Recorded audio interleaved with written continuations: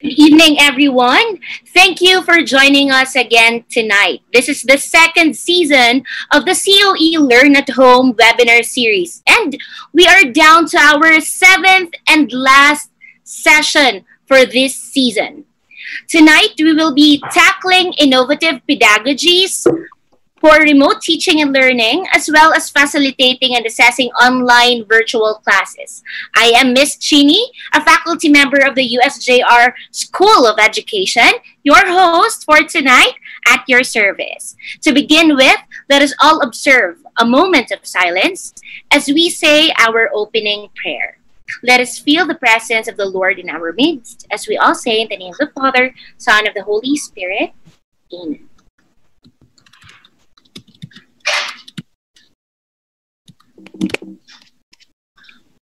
Today we receive all of God's love for us. Today we open ourselves to the unbounded, limitless, overflowing abundance of God's universe. Today we open ourselves to God's blessings, healings, and miracles. Today we open ourselves to God's word so that we become more like Jesus every day. Today we proclaim that we are God's beloved we are God's servants. We are God's powerful champions. And because we are blessed, we are blessing the world. In Jesus' name, amen. In the name of the Father, the Son, and the Holy Spirit, amen. Good evening once again, ladies and gentlemen.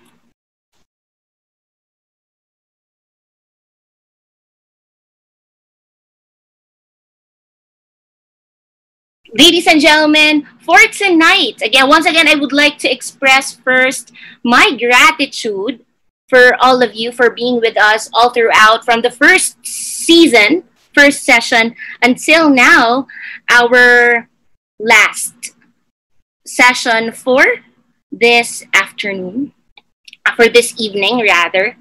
I would like to uh, give, I, I would like already to give the floor to the person who will be giving the opening message for tonight, the newly appointed Physical Education Chairperson, Mr. Montano Tapanan Jr. Good evening, Sir Montano.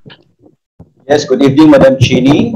And good evening also to our participants here in Zoom and to all our viewers in our YouTube channel. It's USJR College of Education. Dear speakers and colleagues, good evening. And welcome to our seventh session, second edition of our Learn at Home webinar series, School of Education, University of San Jose Recoletos. With the pronouncement of the Department of Education to reset the opening of classes to October 5, the Filipino educators may, may be happy to be provided with ample time or preparations to this online teaching and learning.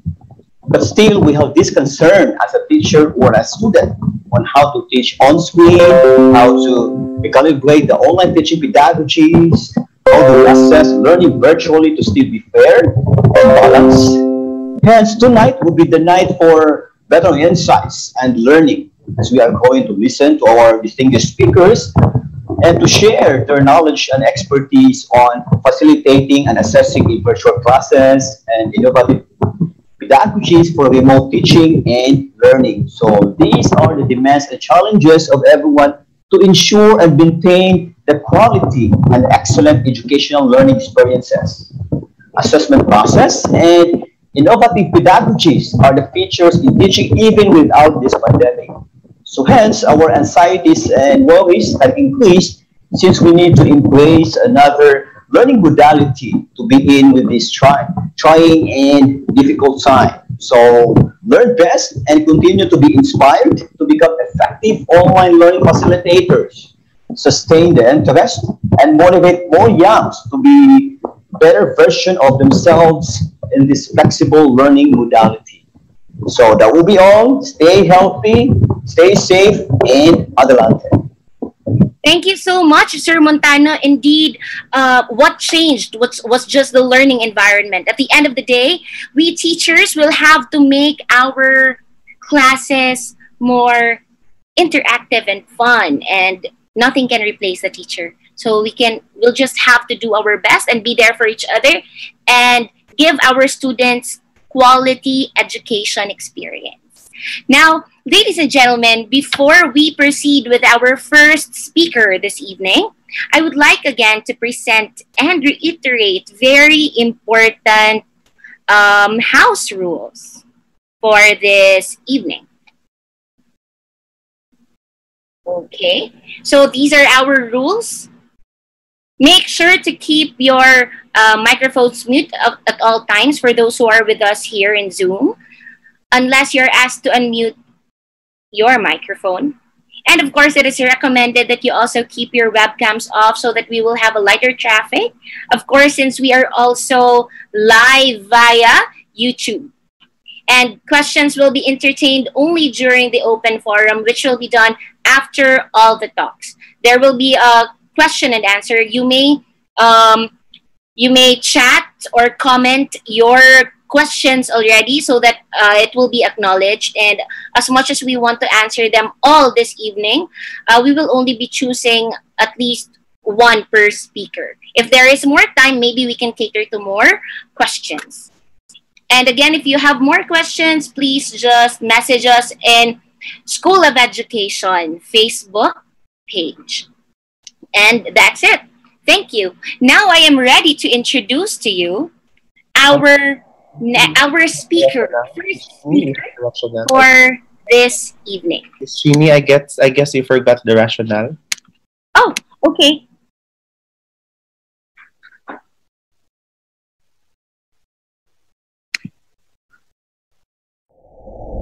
I apologize for for my mistake. There is still someone who would be giving us the rationale for this evening, equally competent. Now, still coming from the physical education department, I apologize. I'd like to call Mr. Benedict Candia for the rationale. Good evening, Sir Ben. Thank you so much, Madam Chini. Thank you. Welcome to the University of San Jose Recoletos School of Education Learn at Home webinar series with the theme Innovative Pedagogies for Remote Teaching and Learning and Facilitating and Assessing Online Virtual Classes. For everyone's knowledge and attention, the host, University of San Jose Recoletos School of Education is located in Cebu City, Philippines and is recognized by the Commission on Higher Education as the Center of Excellence in Teacher Education in the region. We thank you for your enormous response and participation to our previous webinar series that inspired us to continue to share our gifts and expertise for those who want to learn at the comforts of their home. We gathered around 5,000 views to 7,000 and 7,400 views to 10,000, 12,000 views, 16,000 views, and 39,000 views, and as far as 43,000 views to prove that we have been connecting with you all for this learning opportunity. Hence, aside from learning at home, you will also be receiving the several perks for joining the series. First, is you acquire the new learning in the comforts of your home. Second, you can share them in your respective learning groups. Third, you receive a certificate of participation for every topic that you have attended. And lastly, you will also receive a certificate of completion once you finish the four webinar series for the month. I'm sure that all of you are excited for a session tonight. So sit back, relax, and have fun while learning. Thank you. Thank you so much, Sir Ben, for that. And we still, for those who are watching via Facebook Live, uh, I mean via YouTube Live now, if you may please um, share to Facebook so that many people would still be alerted that we are having our Friday nights with the College of Education, now the School of Education, ladies and gentlemen. Now, I'd like to introduce to you our first speaker for this evening. Our first speaker for this evening is a certified Apple teacher, and he's an advocate of e learning literacy teacher education, student affairs program development and curriculum development. He is a published researcher and a national trainer with interest on learner centered instruction and has continually trained teachers and education leaders from the preschool and tertiary levels. Just recently, he published two professional education textbooks on technology for teaching and learning and the teacher and the community, school, school culture and organizational leadership. He has a Bachelor of Secondary Education major in English degree and is currently working on his master's degree at De La Salle University, Manila. Moreover, he is a licensed professional teacher and a member of the League of Catechists and Religious Educators of the Philippines at the Ateneo de Manila University. At present, he is connected with Colegio San Agustin Bacolod as a senior high school teacher and college instructor.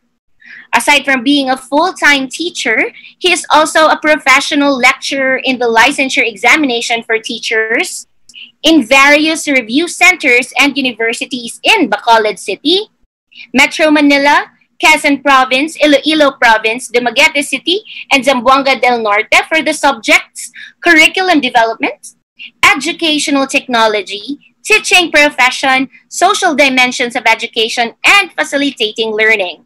He is currently the educational consultant of all the schools of the Oblates of Notre Dame Sisters all over the Philippines, Mater Carmeli Academy and L'Ecole Incorporated. Ladies and gentlemen, our highly esteemed speaker for this evening, Mr. Paul Raymark and Salsag. Good evening, sir, and we are very honored to have you here with us tonight.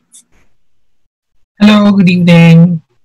Good evening, sir. Uh, thank you very much for this opportunity. Uh, USJR, University of San Jose Recoletos School of Education, for this opportunity to share with you some thoughts on innovative pedagogies in this era of remote teaching and learning. I hope everyone is safe. I hope everyone is well. And I hope that we will be uh, you will be learning from me tonight all about innovative pedagogies for this era of remote teaching and learning. Allow me to share my screen. So here it is. I hope that you can see that clearly.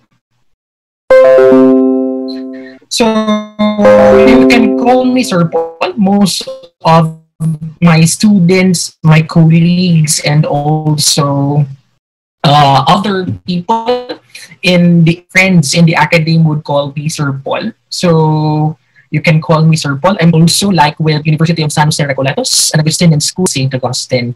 So tonight I will be sharing with you innovative pedagogies for remote teaching and learning. The world will never be the same again.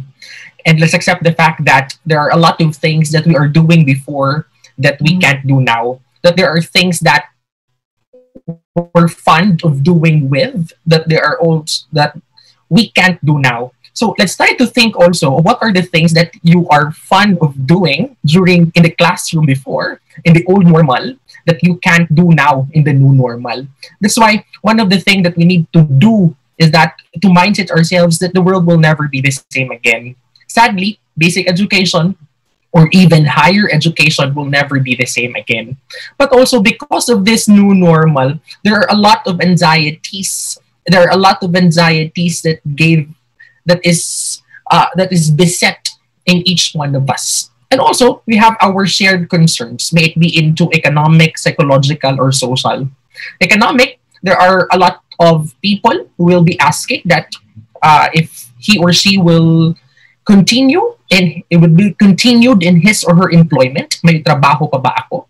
But also psychological, paano na ang future namin? But most of the time, most of us are into psychological concerns. Even though you still have a job, even though you are still employed, that there are a lot of anxieties because also not only the academe but also the industry are being rewired. It was also being repurposed.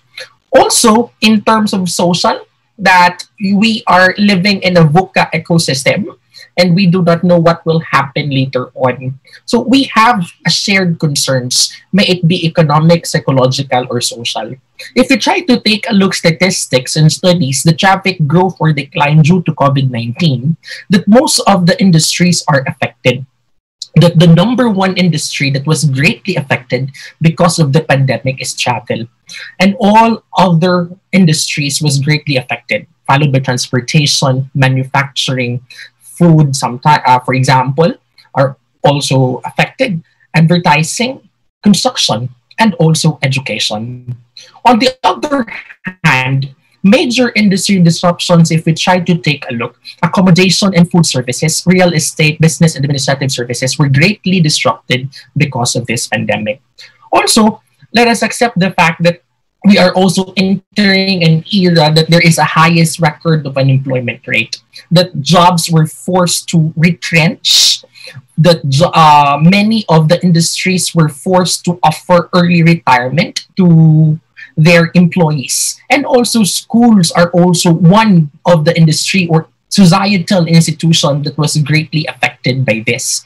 I am also sad that uh, some of the schools that I know were closed simply because of this pandemic. But also, many of the schools who are thriving also, who continue to keep afloat even the, we are experiencing this pandemic.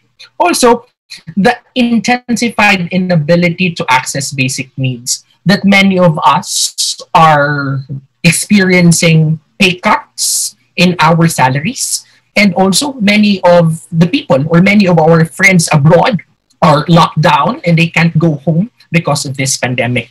And it, this was experienced by most of the schools, most of the private educational institutions. That given private educational institutions, the clientele of it are most of them are migrant or parents who are working abroad. Parents who are working abroad. But if you try to take a look, these migrant workers don't have a job already abroad and they are in a lockdown and they can't go home of course, they no longer have the resources to enroll their kids. That's why one thing, which is a great challenge for all educational institutions, uh, most especially private educational institutions, is this low turnout in terms of enrollment. Also, the large scale of displacement of citizens. This is the thing that I am talking about.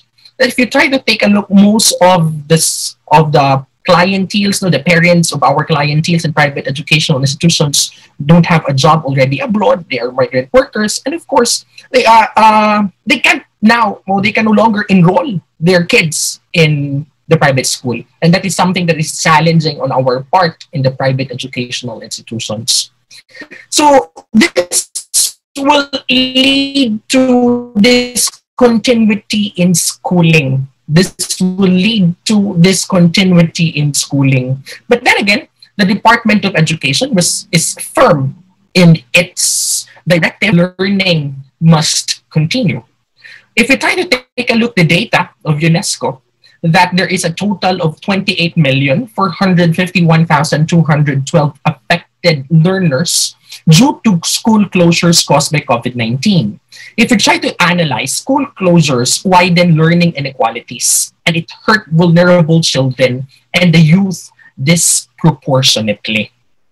But also, we need to think about this as proposed and as given by experts in public health as well as with researchers in allied health sciences that this is not the last major outbreak we're ever going to see. That we need to establish a disruptive proof education in times like this, given that we are living in a VUCA ecosystem, in a volatile, uncertain, complex, and ambiguous ecosystem volatile in a sense that the environment demands you to react quickly to ongoing changes in order for you to continue. That's why we need to be agile in our decisions, in our industries, and in our services that we are offering. So that's why we repurpose and we reward education in order for education to continue. But then again, even though we are firm in our decision in opening classes comes August 24 or comes October 5, we are still uncertain. that the environment requires us to take action without uncertainty. That there are a lot of schools who are still praying that they could still have face-to-face classes, maybe by end of the quarter or maybe by end of this me, maybe by the end of the by December, maybe. But then again, we are uncertain. That's why the challenge is that we need to establish disruptive proof education so that we can continue education, we can continue in delivering educational services, even though there are a lot of disruptions that is going to happen, as well as complex, that the environment is dynamic with many interdependencies, and lastly, ambiguous, that the environment is unfamiliar outside of your expertise. Also, my dear teachers, let us accept the fact that we were not trained to teach in a remote teaching and learning. We are not trained to teach in a distance learning modality. That we are trained to teach in a face-to-face instruction. That's why capacity building of teachers are are too many now uh, from the moment uh, that we are in a lockdown last three months ago up to this time, that there are a lot of webinars that is happening, that there are a lot of trainings given to teachers because of this concept of ambiguity. That we are in a scenario that we are caught off guard and we were not prepared ourselves to offer distance learning up to this time. But then again, the, our beloved commissioner, chairman rather of the Commission on Higher Education, J. Prospero de Vera III, gave a statement that the approach to education should be anchored on the premise that learning must continue. Quarantine or not, learning must continue. Therefore, it is everybody's responsibility to ensure that flexible learning is delivered during and after the crisis. Higher education institutions are the repositories of innovation and the vanguards of change. I would like to focus my talk, my sharing with you this webinar this evening on the word innovation. That if we try to take a look even before COVID-19 pandemic, we were speaking of innovative. We are speaking already of innovation. But then again, we are in a situation that we need to innovate far more than what we are doing before. Far more than what we are doing before. But then again, we need first to differentiate. It may be an isolated or it may be a grounded innovation. Let's try to differentiate what is isolated innovation and what is this grounded innovation. That we innovate, but sometimes we were not able to see what is happening in the grassroots. That we innovate, but we was not able to take a look of the demographics of our students, the capacity of the students, but not only the capacity of the students, but also the capacity of our learners. Not only the capacity, but far more all about the readiness of our learners. How ready is our learners in terms of the innovation that you will be introducing? And how ready is your teachers in the innovation that you will be introducing?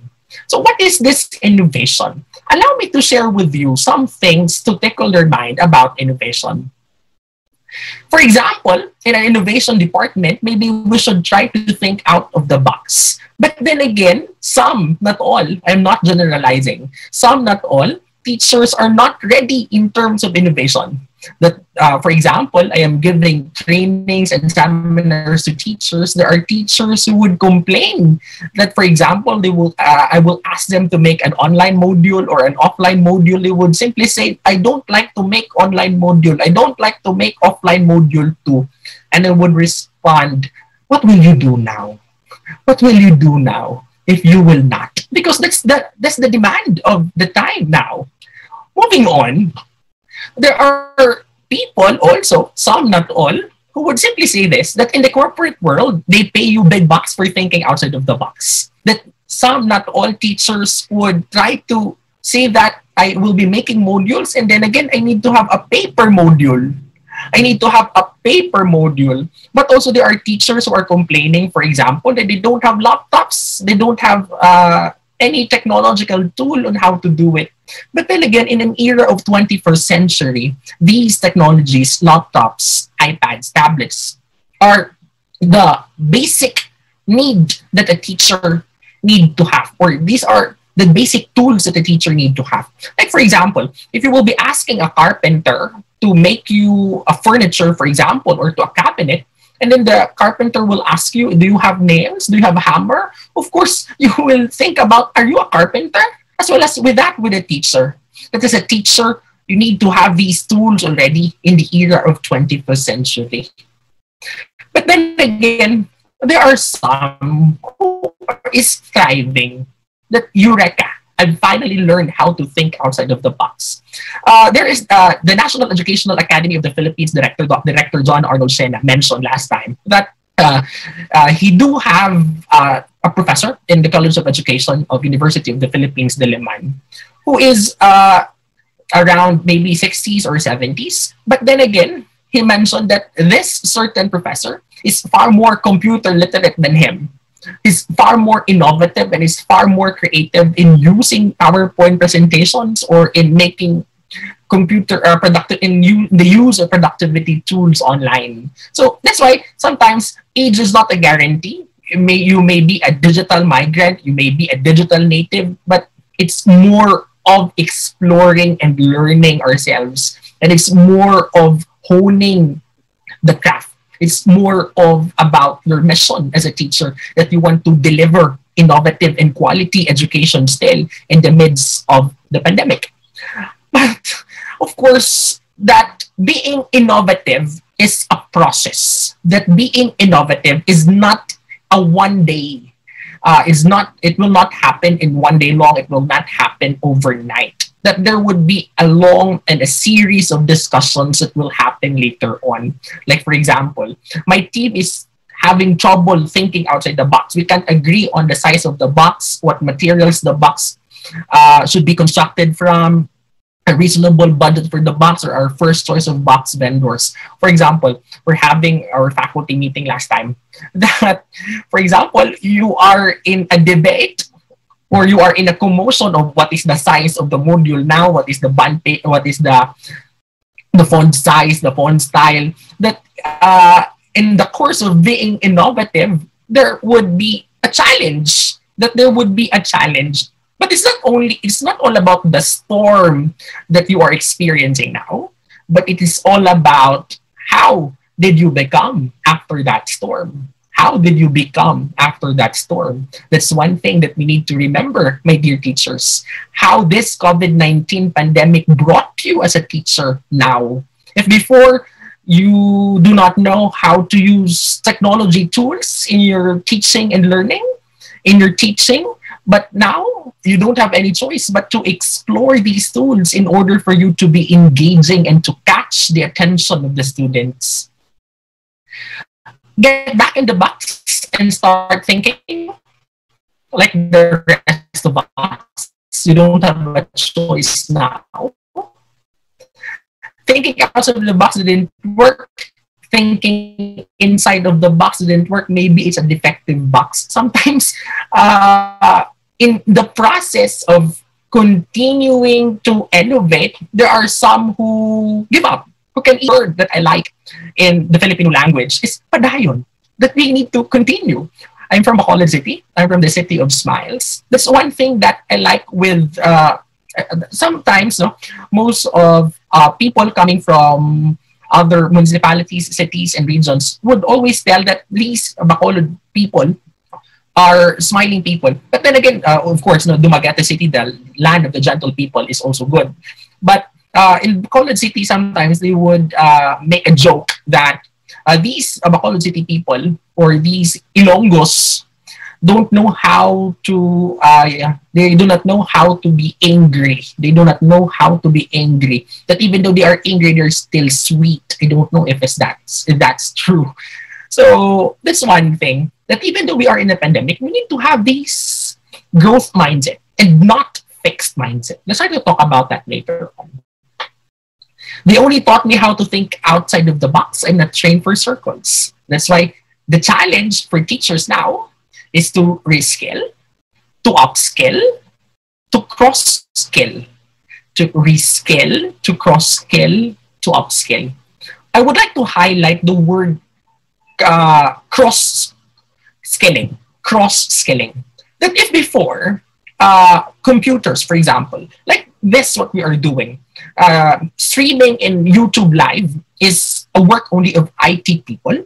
But then again, we need to cross skill as teachers that we need to learn these uh, these things, these stuff, in order for us to deliver, for example, student services in our students. That we need to stream live, we need to make yourself presentable also online. That's one thing that we need to learn. That's why classroom management also has changed. That if before you can easily manage the students in the classroom, in the face-to-face classroom, but now we have this concept of virtual classroom management, that these teachers need also to be trained in terms of virtual classroom management, how to catch the attention of the students virtually is one thing that we need to think about also.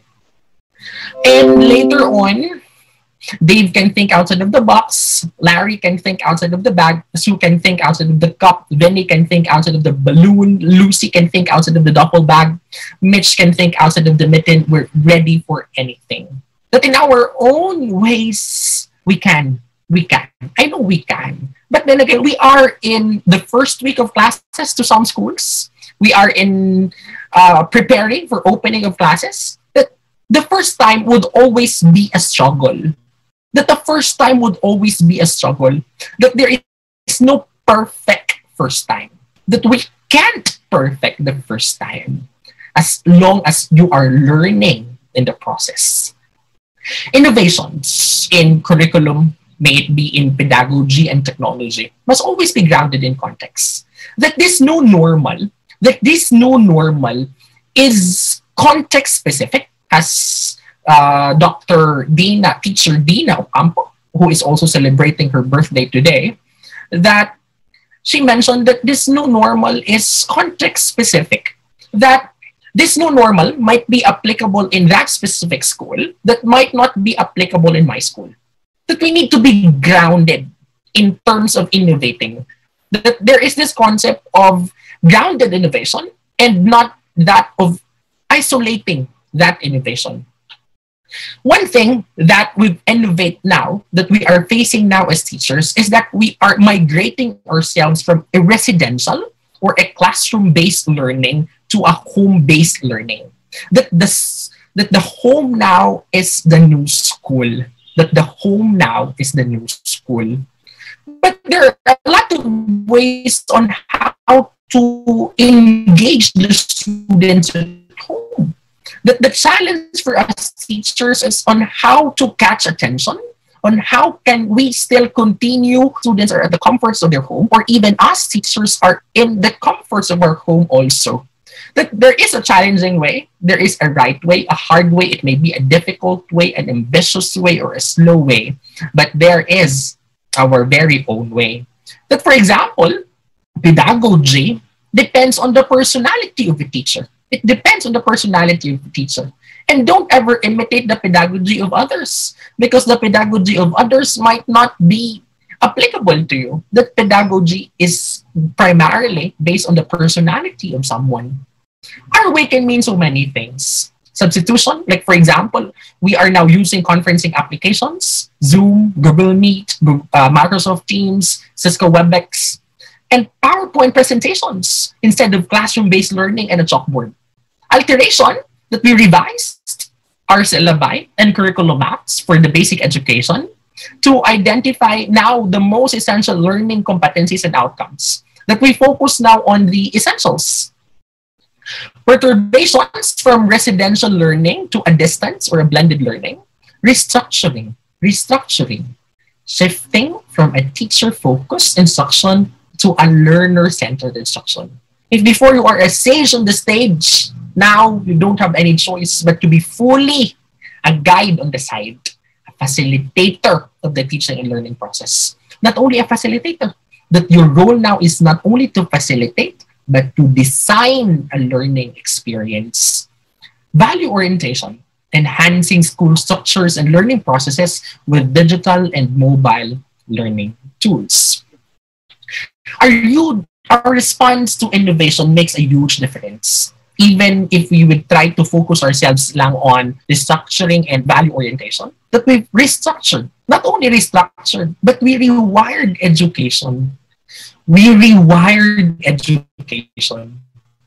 That COVID-19 finally made us push the button for rewiring and not just for constantly rebooting education. Because if you rebooted education, you will only fall asleep and in the moment that you wake up, it's still the same. But rewiring is changing a lot in order for you to continue education. That's why uh, there is this quote, you can't start the next chapter of your life if you keep rereading the last one. Nga sabi nila, no, kapag hindi ka pa nakapag-move on, walang mangyayaring maganda sa'yo. Mag-move on ka na. That's one thing. Apply that in education. If you can't move on with your chalkboard, if you can't move on with your face-to-face instruction, I do not know that if quality education will still be delivered if that is the case. But then again, in decisions, in decisions, we offer three kinds of services. Good, cheap, or fast. This is a word of caution. If you continue to be good and you are cheap, you won't be fast. If you continue to be cheap and if you are fast at the same time, you're cheap na nga, and then you make it fast pa, it, you, you won't be good. But what is this COVID-19 pandemic is demanding us educational leaders or teachers that you need to be fast in your decisions, but you need to be good. But you need to give good decisions in order for you not to be cheap. In a quick manner, but don't forget that you act or you decide or you give good decisions in order for you not to be cheap. New normal do have new three R's. That in the new normal, we have new roles as teachers. That you are no longer a you're no longer a sage on the stage, but you are now a facilitator, a designer of a learning experience. But do not forget to give the students also new rules and new routines in terms of education. That we are living in a new normal, new normal with new infrastructures. Let's try to talk about that one by one. New infrastructures in terms of daily schedule, school rituals, and platform. New systems in terms of attendance, discipline, and also requirements. New approaches, student engagement, student formation.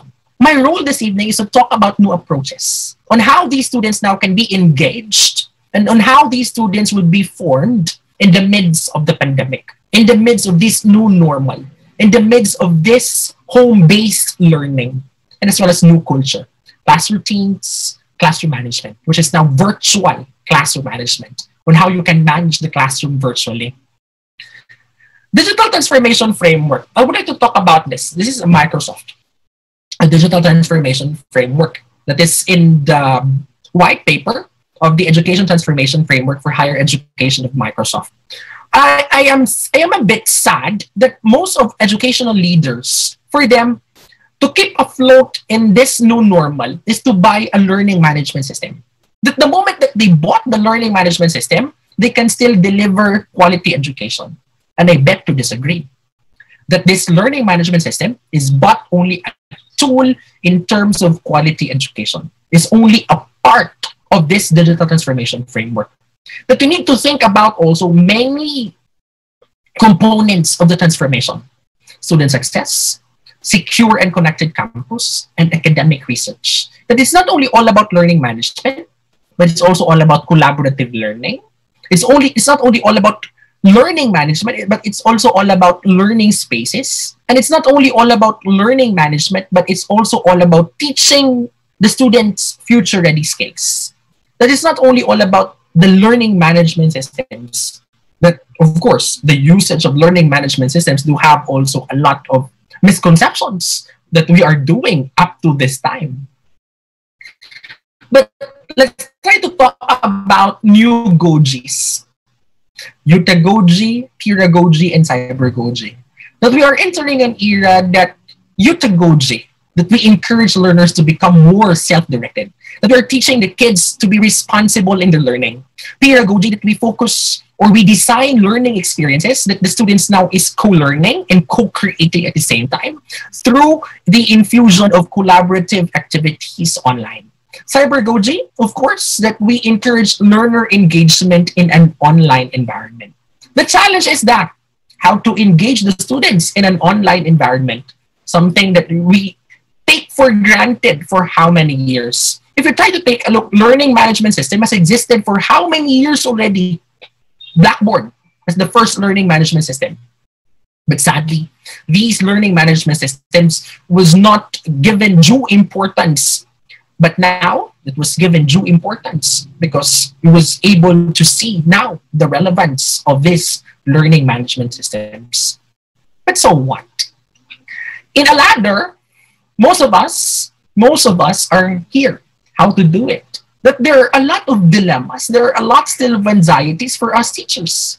How do I do it? How to teach now in a learning management system? How to teach now, for example, having only one hour in one subject a week? How can I squeeze a lot of competencies and a lot of contents in one hour? That's one of the, those are things that teachers are thinking about or asking for answers for these questions.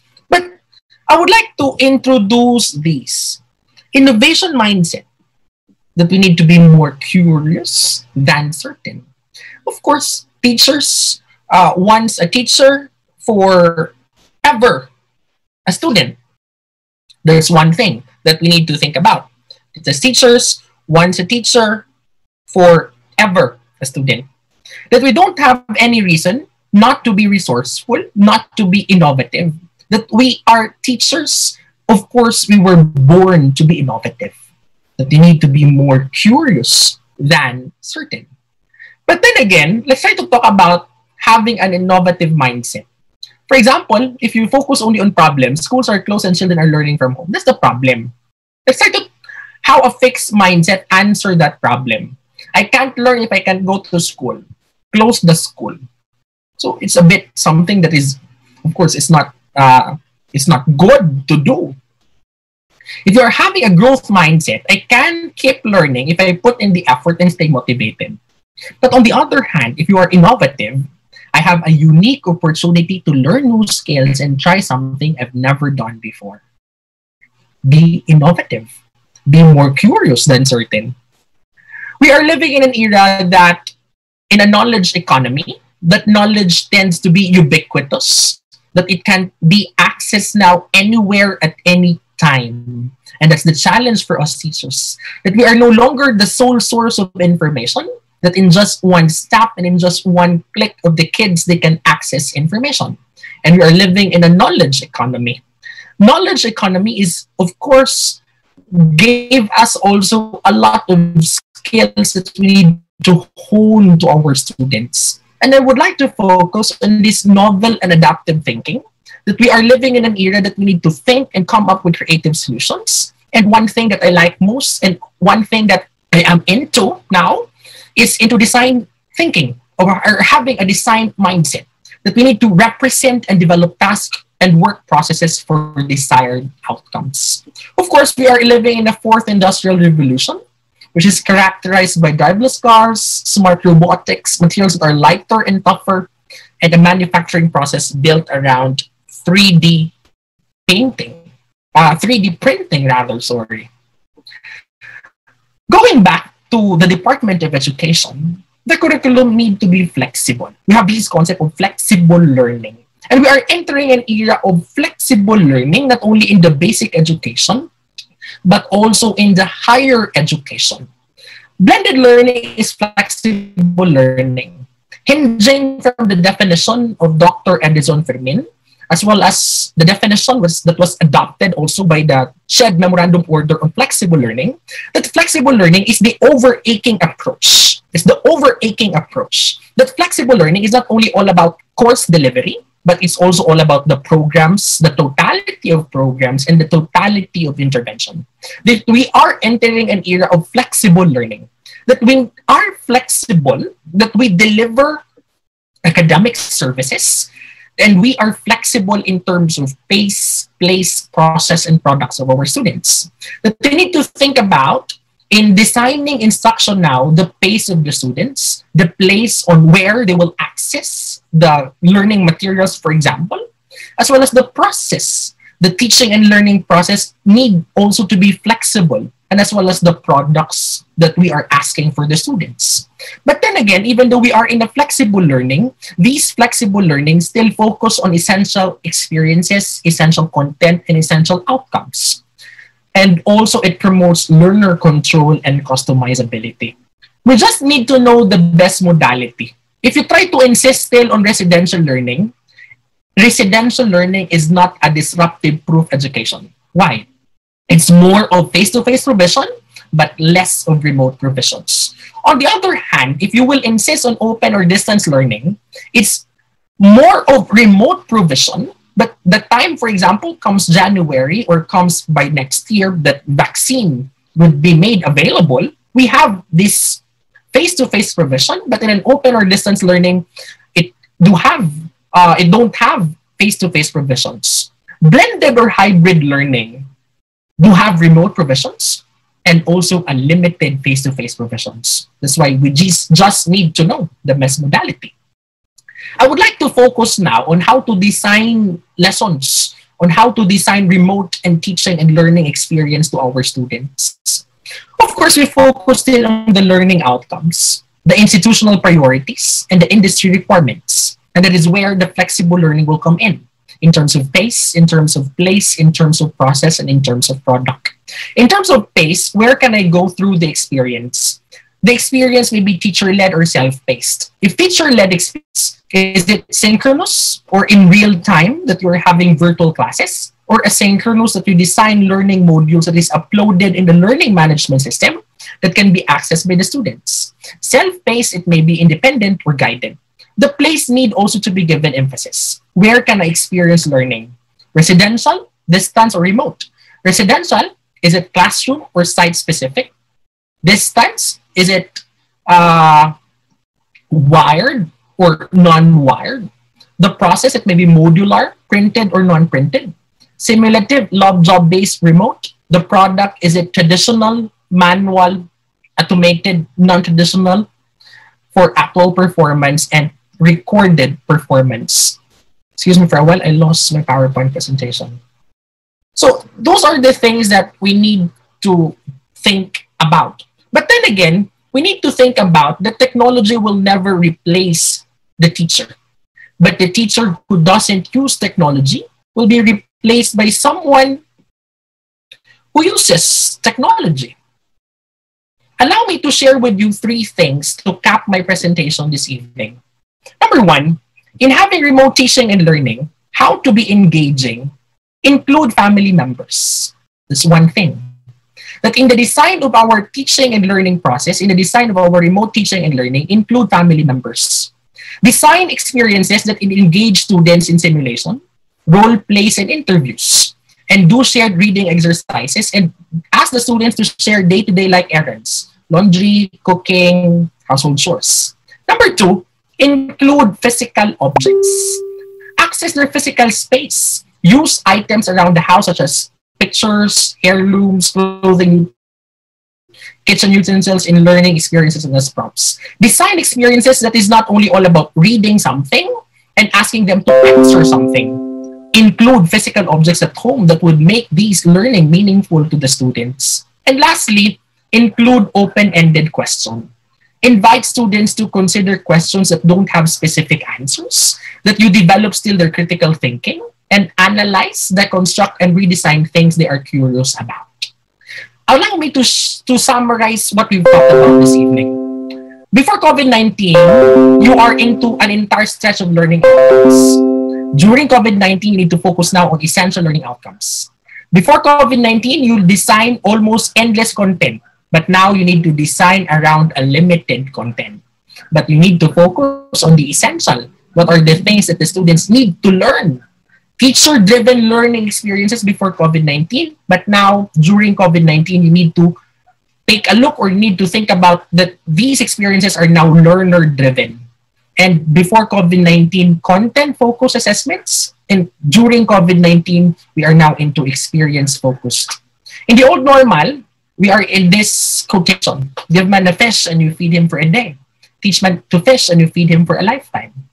In the interim normal, some, not all, people are into this. I don't know how to fish. I don't care to learn. I don't even like to fish. So don't bother me. I'm motivated. But in the new normal, if you give me a fish, you have fed me for a day. If you teach me to fish, then you have fed me until the river is contaminated or the shoreline cease for development. Sometimes that's that's right, di ba? Paano kapag nagka-oil spill? But if you teach me to organize, then whatever the challenge, I can join together with my peers and we'll fashion our own solution. And that is in the new normal. Good evening, everyone. Thank you very much. Thank you so much, uh, Sir Paul, for that very insightful um, talk. Indeed, there are a lot of changes in the new normal, and we are all um, trying to adapt.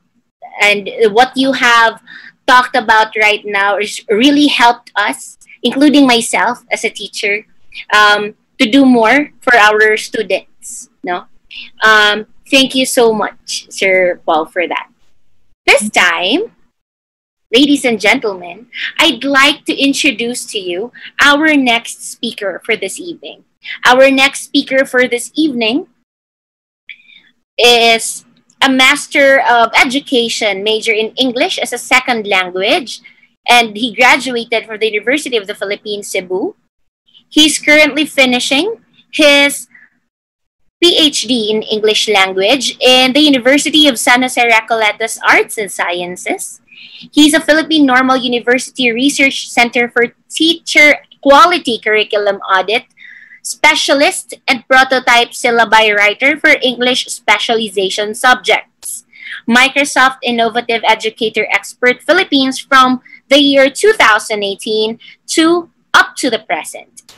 And currently, ladies and gentlemen, he's our very own chairperson of the School of Education of, in the Department of Teacher Education in the University of San Jose Recoletos. Ladies and gentlemen, let us give our hearts and thumbs up to our very own Mr. Ayonol J. Terogo. Good evening, Sir Ayo.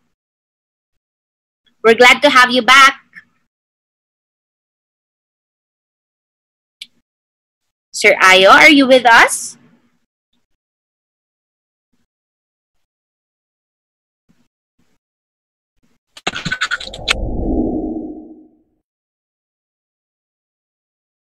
Did his PowerPoint. Ladies and gentlemen, again, if you have questions about our um, topic. Hello? Hi, hi, Sir Ayo. I was just telling the viewers that if they have questions about our previous topic, please comment. Now, Sir Ayo is with us. Sir Ayo, are you ready? Hi. Yes. Okay, take it away, Sir Ayo.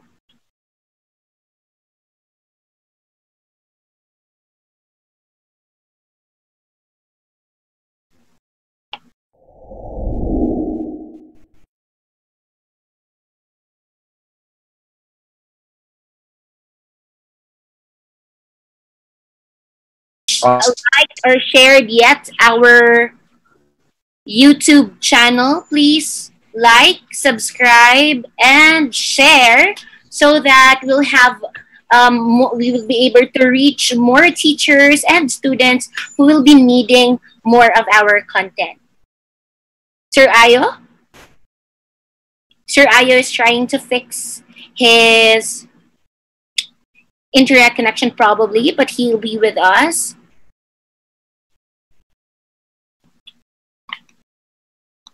So, sir, since Sir Ayo is still um, having technical troubles, I will first um, give you a few reminders regarding your um, certificate. Since it's the seventh and the last um, session for this season, ladies and gentlemen, I'd like to remind all of you to please prepare all the certificates that you got from our previous sessions. And please be ready and be uh, please be ready to have them posted via Facebook, just like the last time. This time, um, Sir Ayo, are you with us already? Yes, hi. Yes. Can I be heard? Yes. Thank you. Very good. We are not really friends.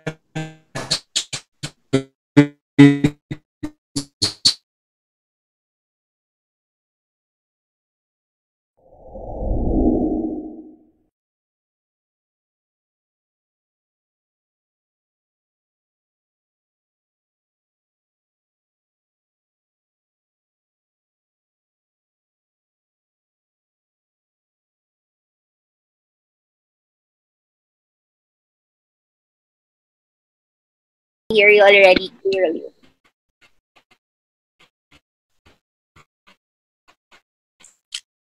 Oh,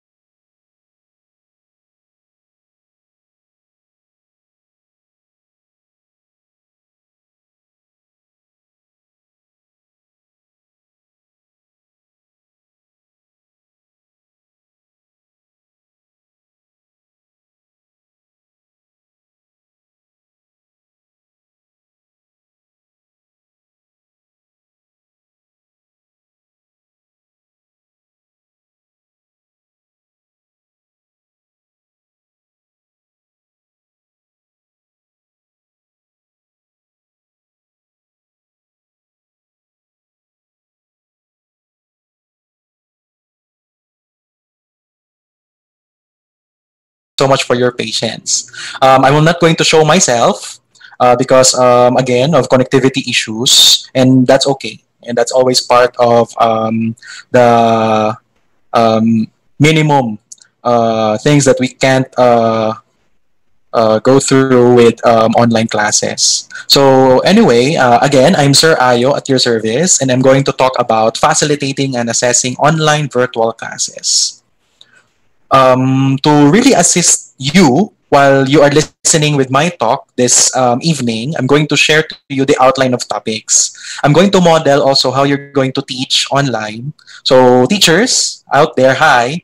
Uh, you're going to start with an outline of topics or um, a set of objectives or competencies that you have to share to your students. Uh, sometimes we forget sharing objectives while we are in a face to face class. But in an online class, we need to share them because we are really far from students. There's that remoteness uh, uh, with students. Therefore, they have to know what we are doing. So the outline of our topics tonight would be first, instructor presence in online classes. How are they? Uh, how is it very important in online classes? Number two, we will spotlight or give the spotlight to virtual classes. um, C, how to assess online. Then I'm going to give some tools for feedbacking and grades. Sadly, I cannot share how to do them, but at least I can share you these tools and you can explore them by yourselves. And last but not the least, as a challenge for us uh, this evening, would be growth mindset and empathy. They are very important now in an online virtual class. Uh, teachers and students alike, this will be our outcome for tonight. Out- outcomes for tonight. Outcome number one, to recognize instructor presence in facilitating online classes. The strategies that I'm going to share tonight might be forgotten, but I don't want you to forget how important instructor presence is in an online setting. And number two, um, another important thing that we have to consider is feedback.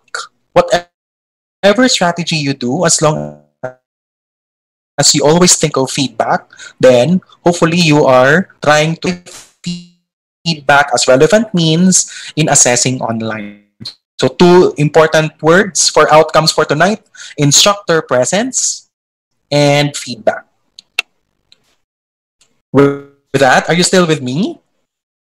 Hopefully you're able to follow. Yes, sir, we are following. Thank you so much. Now, that's me on the screen. Hi. I'm sitting down because I'm lazy. And let's discuss again change of delivery. So, hi, I'm Sir Ayo at your service. And this is done through face-to-face classroom interaction with the blackboard or the whiteboard at the back and with your handsome teacher in front or your beautiful teacher in front. Uh, camaraderie, collaboration is clear. There is that um, focus on interaction with um, students and teacher and students and students. But again, uh, thank you to Sir Paul for really sharing and giving a, a giving an outline and a glimpse as to the condition of um, online remote uh, learning and how to become innovative. We are shifting now to a change of delivery. So just imagine that Sir Ayo as an avatar. Hi, I'm Sir Ayo at your service, and maybe I'm using Facebook group as a means to teach my students. That is now through online virtual class. There's really that change of delivery, but the commitment and even the resilience of teachers did not change. It's still there and it's stronger than ever. So hopefully, my dear uh, students there who are listening, shout out to my students. shout out, no? Um, shout out to my students. Please respect your teachers, especially at this time of crisis. They are doing the best that they could. Now, again, two modes of delivery. Are they the same? Are they different? What makes them different? Now, what makes them similar? Let's start first with similar, then different, then I'll go back to what is what should be the same in both deliveries. What is similar? Teachers.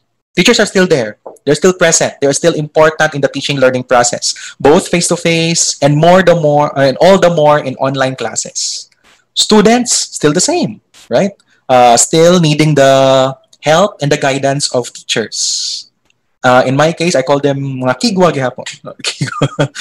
they, they, they, they're still the students that we know, and they still need guidance. That's why you are there to help them and facilitate them. And they're still curious. They're still um, energetic towards learning what they're supposed to do. Some of them might also be bored, and that's normal. Still the same. What is different? The learning environment.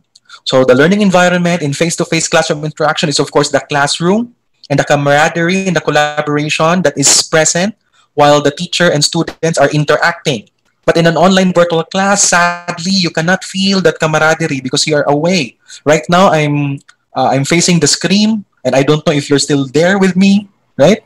And I'm just trusting that you are with me and listening, and I also trust the internet for being with me. so uh, the, the change is on the learning environment.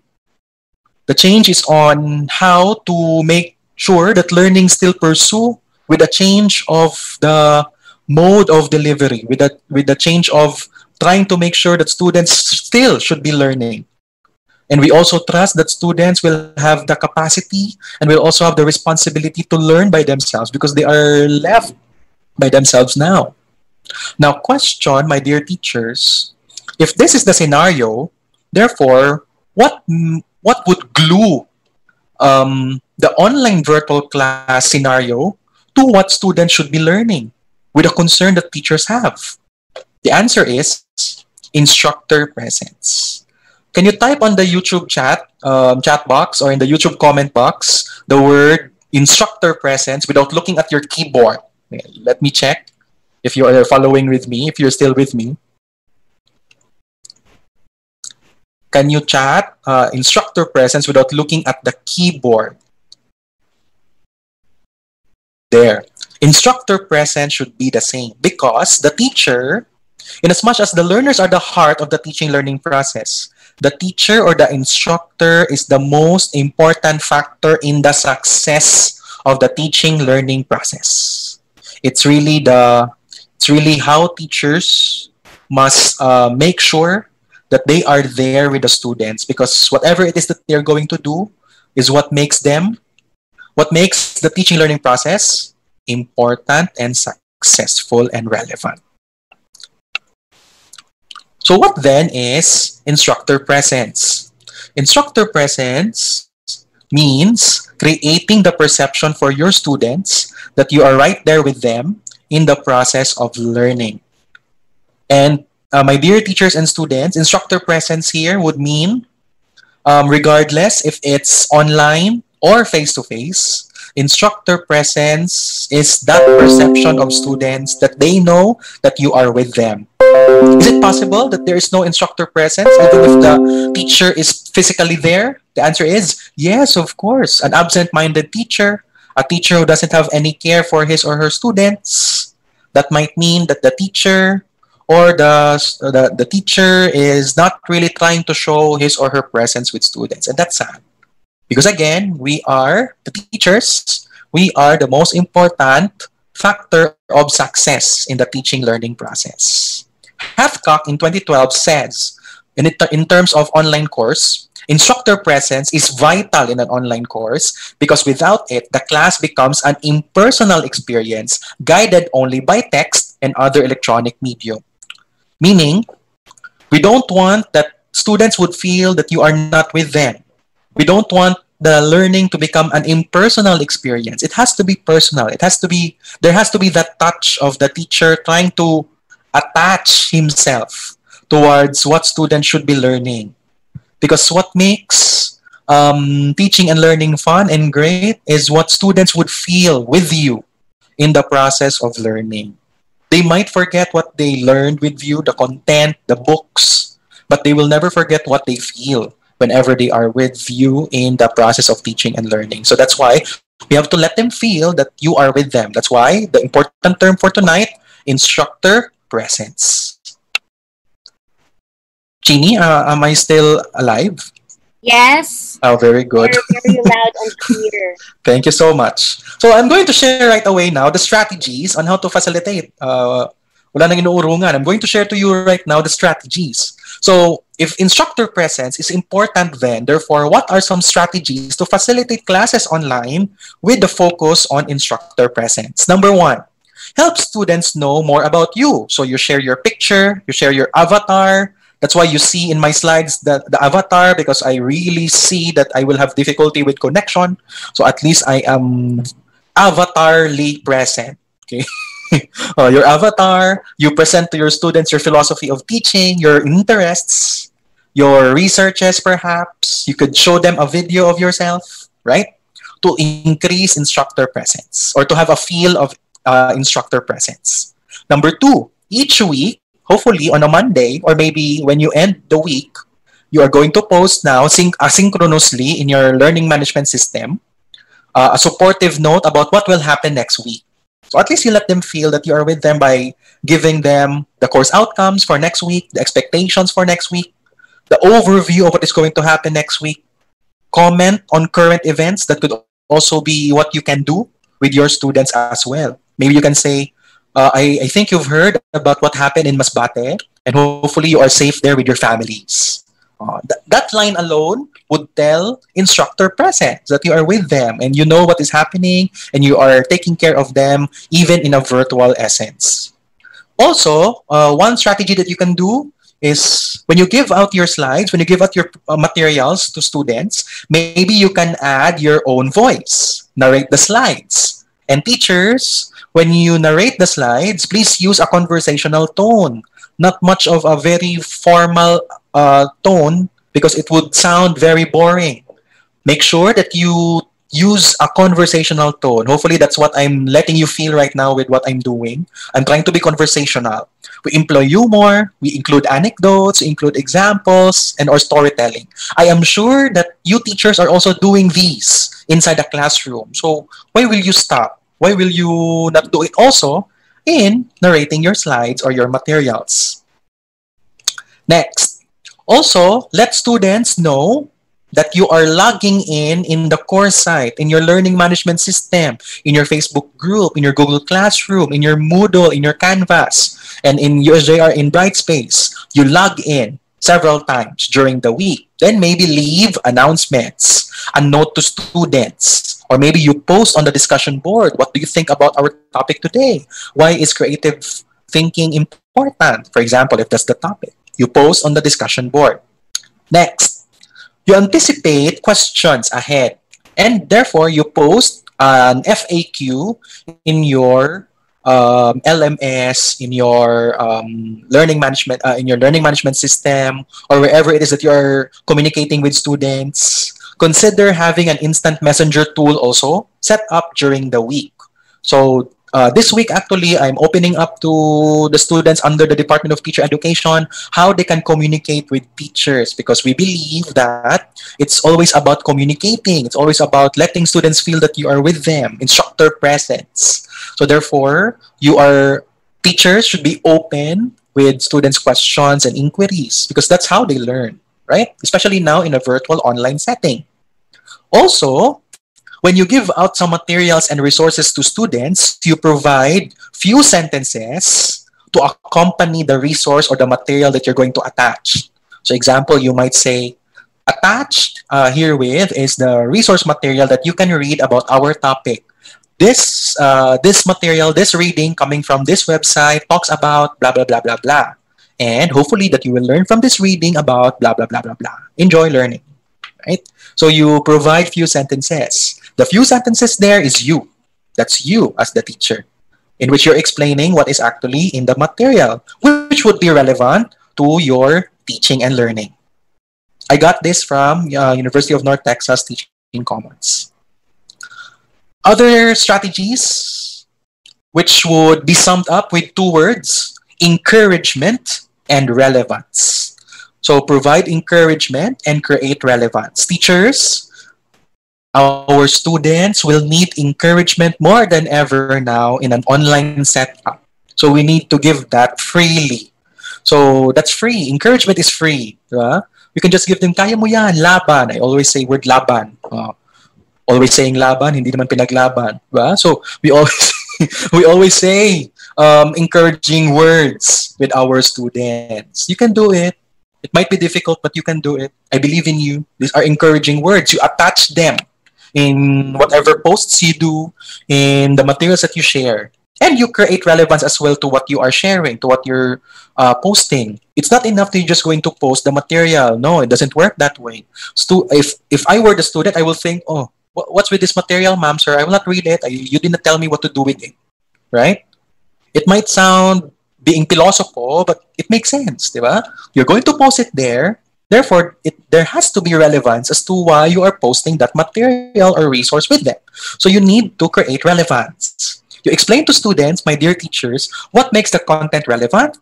We help maintain students' good attitude towards learning by encouraging them and by giving a support to them. Therefore, you are creating a good, supportive learning environment. Here are some sample statements. Number one, while learning how to cite sources correctly can seem difficult at first, practice will definitely make it easier. Uh, so there's an encouragement there. It's going to be difficult, but it's going to be easier once you do practice. Or you can say, if you're worried that you will never memorize all the citation rules, try to relax. This is something you just need to know how to look up. So you don't need to memorize them. So you need to encourage students to study citation rules, but no need for memorizing just to look them up. Or another example, are you struggling with the idea of rhetorical devices in language? If so, you're not alone. Here are some links that will help you learn more. I am very passionate about the strategies that I'm sharing because I'm also doing them in my classes. And I really believe that it has never been about what the content that I shared, but it's always been about letting my students feel that I am with them. That's why instructor presence is important. Here are some examples of what I can show you as to what I have been doing in my classes uh, as proof that I'm doing instructor presence, which you can also do. So example, in the Moodle that we did last summer, I indicated an overview of the week.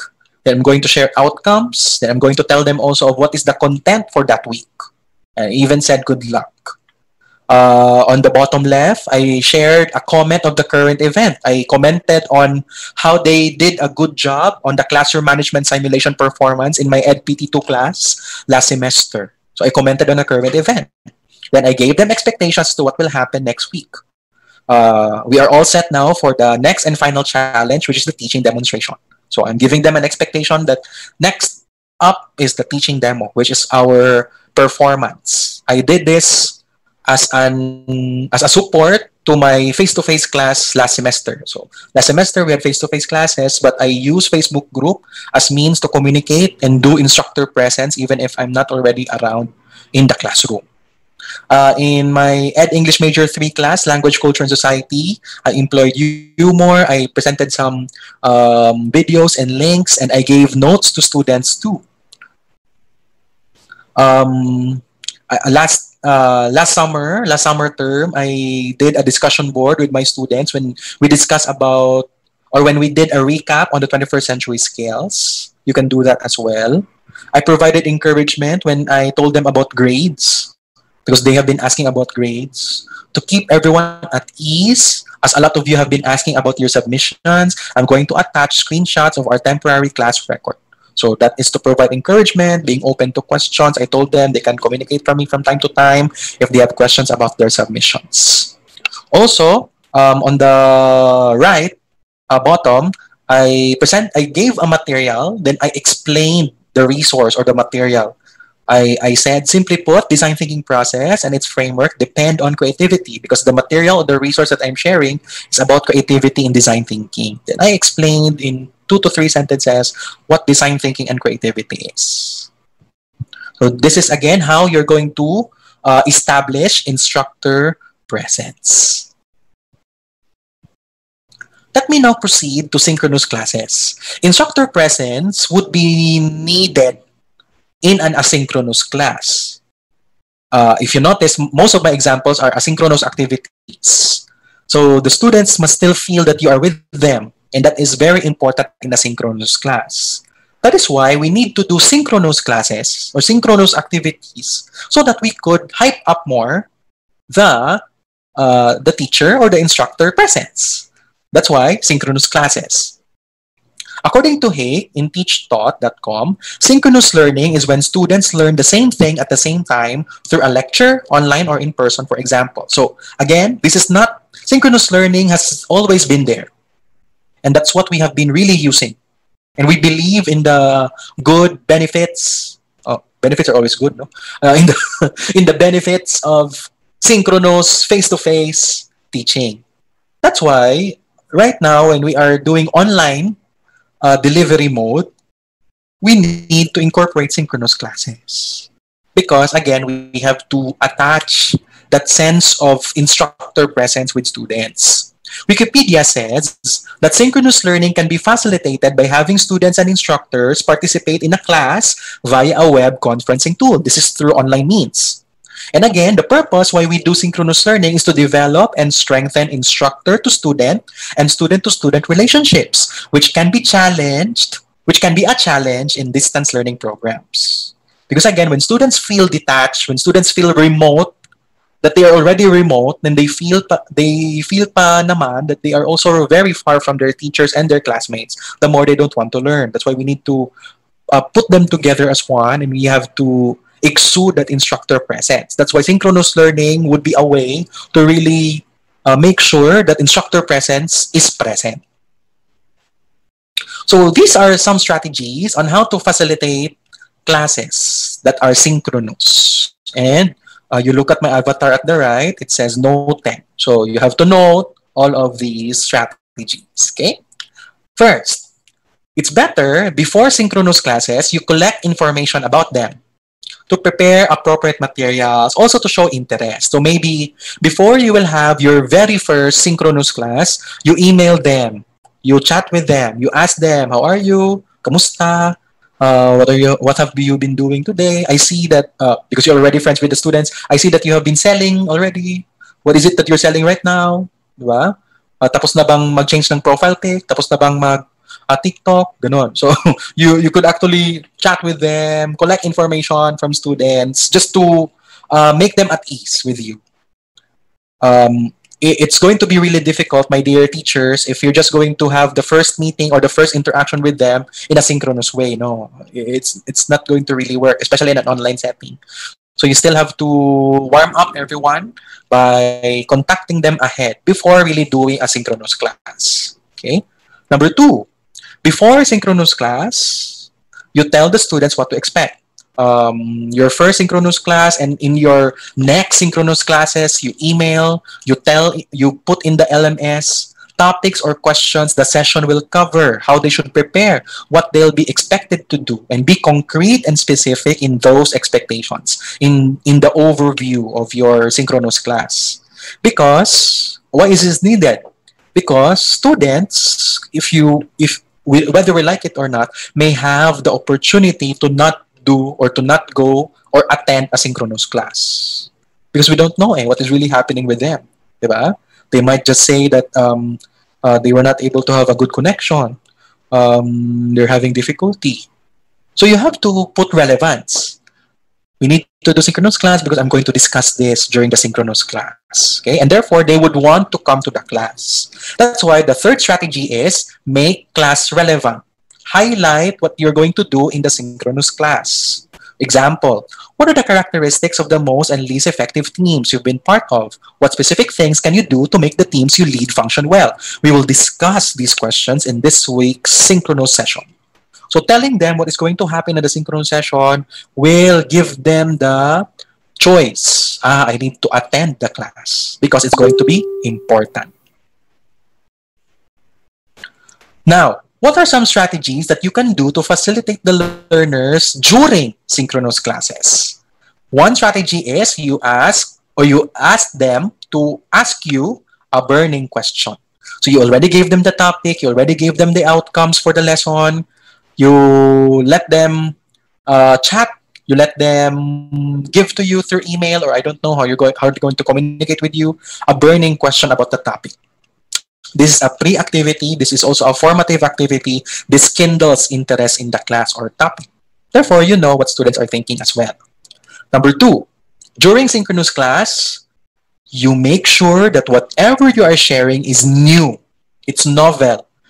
Because if students will feel that it's not new, ah, I can just learn this online. Why do I have to attend the synchronous class? Sadly, they will cut. They will leave.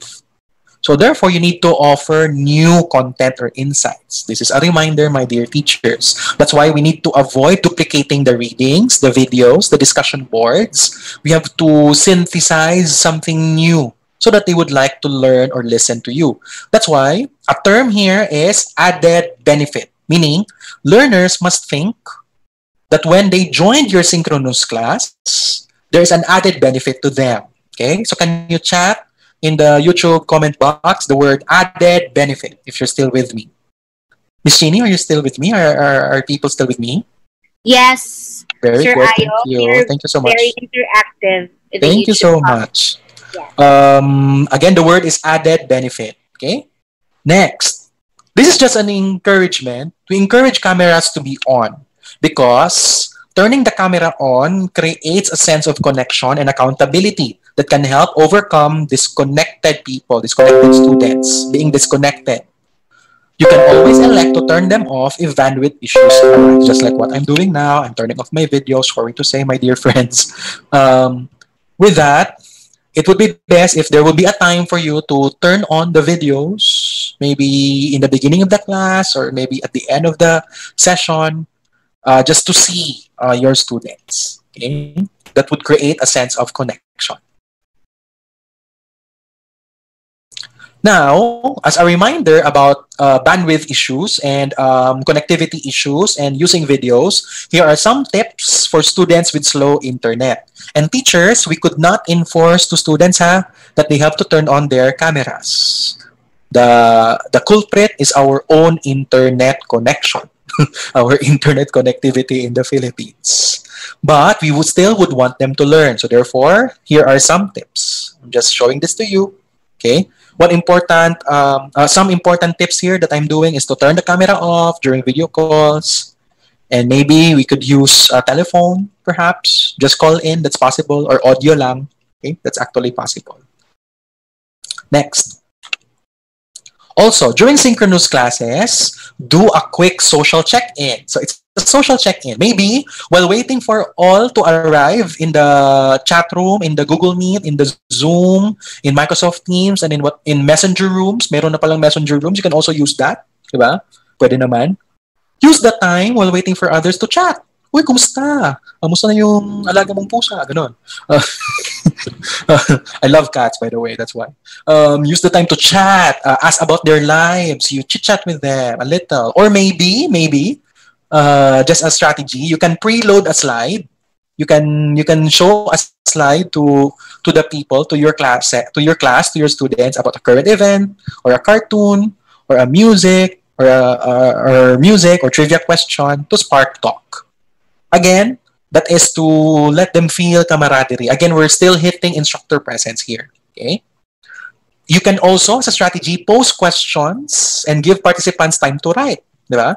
It's an uh, it's an uh, it's an alt, uh, you need to alternate whole whole group response and also individual responses. Okay, so maybe you can do a cold calling, meaning cold call is a strategy that teachers do when they call out students right away and they answer. Okay, that's cold calling. Cold call. So, example, um, Ifinita. What are the three elements of the teaching learning process? Okay, that's cold calling. You can also do that actually in a synchronous class, but please focus on um, objective questions or those questions with correct answers. But from time to time, my dear teachers, you also give time for students to reflect, to write. Okay, alternate the strategy um, letting them write actually would allow students to also synthesize what they actually have learned in the class. Okay, let them use the chat box or let them uh, type in a third-party app, just like the Padlet. That's also a very good app. It's like uh, stick notes on the wall or Mentimeter. Uh, I, I also love Mentimeter. You can also do Kahoot, guys. Kahoot is also available for polls and surveys. Next, Another strategy, my dear teachers, is to ask students to answer hot questions. Maybe a question about picking a side. Um, because these questions about picking a side, what do they believe more? What do they think? Which is better, this or this? It's actually very hot, higher order thinking skills. And therefore, you could entice discussion with your students. Then maybe ask few learners to explain or defend their positions. And you can now have good discussion with students. And it's going to be a very interactive synchronous class. But take, uh, please make sure of the time, okay? Next, also, is a very good strategy as well. You might not want to share content during the syn synchronous class, but rather make use of the synchronous class as consultation time. So let's do the flip strategy or flip classroom strategy. Flip classroom strategy is when you give students the opportunity to learn it by themselves. Then once you meet, that's the time that you answer questions about what they learned. So we are flipping the way on how to learn. So maybe, dear teachers, you can use the synchronous sessions not as content sharing, not not as discussion, but perhaps a consultation okay, I'm, op- I'm open now for synchronous session. I'm just going to be open to your questions or to what you would ask me about your tasks or your project. Okay, no. You can do that as well, di? That is also adding uh, to the to the possibility or the strategy of uh, responsibility with students. So we are done with um, instructor presence, and I hope you've learned a lot as to how important instructor presence is. And I have a lot of strategies how to assure that instructor presence is there in asynchronous classes, and especially number two, synchronous classes. And I have strategies also that I shared to you how to deal with synchronous classes. Let's now go to an issue which is actually a hot topic in online classes and also difficult to do. That's assessment, online assessment. So coming from the Learning to Teach Online course that I attended in Coursera, what are the benefits of online assessment? So I'm going to sell to you, my dear teachers, that online assessment is actually beneficial. Why is that? Number one, it's very convenient. Teacher and students. It's very convenient when it comes to submission. Can you imagine? There's no need for students to give you the book, to give you a hard copy. And then there's really that tendency pa that the hard copies that they're going to give to you, mawawala pa or kinain ng aso, kinain ng pusa, di ba? So, when they're going to submit files digitally, then you know that it's there, right? So, convenience in submission. Also, convenience in marking.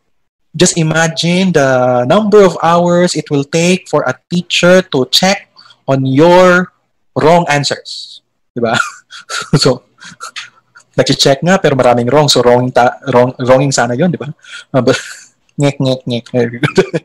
marking, kaya nga word marking. Oh, or tawag natin checking. Okay? So, we're going to mark students' uh, scores. And it's it's going to be automatic uh, in some applications that would allow uh, allow teachers and students to do online quizzes. Feedback can also be automatic. It's also convenient to uh, students in an online assessment form. Also, computer marking and computer work in uh, tests such as selection or multiple choice type of test can be done in a jiffy. You can do automatic grading right away. There's automatic uh, marking right away of answers, especially when it's just um, uh, uh, a knowledge-based test. You can reduce the marking time. Can you imagine that? The number of hours you spend marking can just be done in how many minutes in an online class in an online quiz application. There's also faster feedback because there's also a reduction of marking time. And what students like, which I really noticed uh, during summer term when I use a Microsoft Form for our assessment, uh, we can do or we can allow students to do multiple attempts. And teachers, I would really recommend you do multiple attempts. Bakit? Kasi in multiple attempts, this is where students actually learn. Kasi they will know that they have had a mistake. Therefore, the next time that they're going to do the test, they can now select the correct answer. And there's already that behavior through the correct answer that students learn. Kaya nga, uh, I would really suggest that you let them do multiple attempts. But maybe you can just record the final score. Out of three attempts, you score the last score. Or out of three attempts, you average the three attempts. And that is the score of the student. Diba? Win-win situation yan. You know that students are learning. And number two, students will like it as well because you allow them to do multiple attempts. Kasi may worry kasi ang students, when they do online quizzes, nawawala yung connection, nawawala yung uh, internet. They will also have difficulty with um, answering kasi nga it's online, mostly connectivity issues. So you allow them for multiple attempts. Okay? Uh, it's okay naman because it's just um, it's just knowledge-based questions, di ba? Um, we will talk about um, what could be a better assessment strategy. But um, we could still not deny knowledge-based questions. Okay, they are still very helpful. Next, online assessment is also very beneficial kasi we could detect plagiarism. Diba? There are already plagiarism checker applications that could be used like Grammarly and um, what else there that is available uh, online that could detect plagiarism in students' reports. This is good for the teacher, not good for the student. Pero students should also realize that because we ask them to really share what they learned or what they know, they have to give us the correct, or they have to give us their personal and also their own answers. And last, online gradebook. There could already be a way to do grade booking, which is more convenient for teachers and students. For example, Um, the learning management system like Google Classroom already has a grade book embedded in it. Therefore, you can just um, download the Excel file or the XLS file of the scores. And therefore, tada, you already have grades of students. That's why online assessment is actually very beneficial. Let's review the types of assessments. What are the two types of assessments, my dear friends? Formative and summative. Question, my dear friends, to check if you're still with me, because this is synchronous. Which is more important? Formative, which is on the process of learning, on the process of teaching, you are assessing students, and therefore they are not graded. Or summative assessment, in which you are grading students uh, formally this is what you're going to place now in their grades. Which is more important, formative or summative? Can you place F in the chat box if you believe it's formative and you put S um, if you think that summative is more important? So I'm using the strategy of picking sides. Uh, Ms. Sheeny, can you help me check if they are uh, the people are still with me? Ms. Sheeny? Aya, they're actually still with us. Thank you so much. Um, formative and summative. The answer, according to DepEd Order number 8, series of 2015, the most important type of assessment is formative assessment. Yay, congratulations to those who answered formative. Sir, why is it that formative assessment is more important than summative, wherein formative assessment is not graded naman? That's the point. It's more important because it's what makes the summative assessment.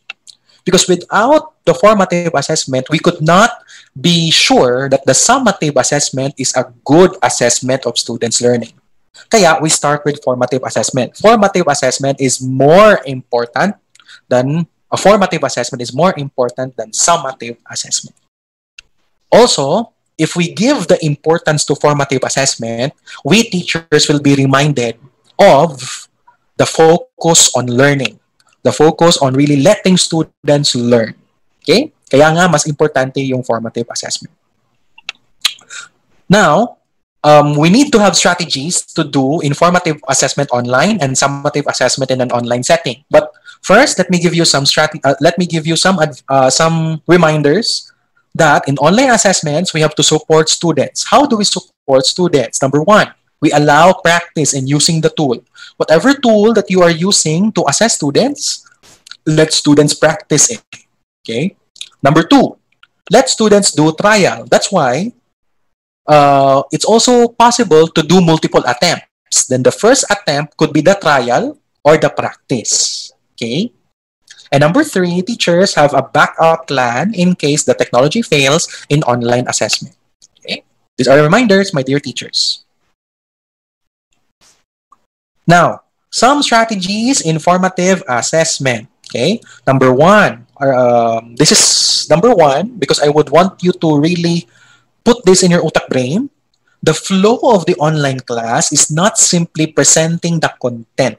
That has never been the purpose of an online class. But rather, the online class should be facilitative towards the learning of the content what would be your purpose as a teacher if you're just going to present the content and you haven't helped them, you haven't facilitated them as to which is the first one to read, which is the second one to read, what should they do to know if they really learned this material.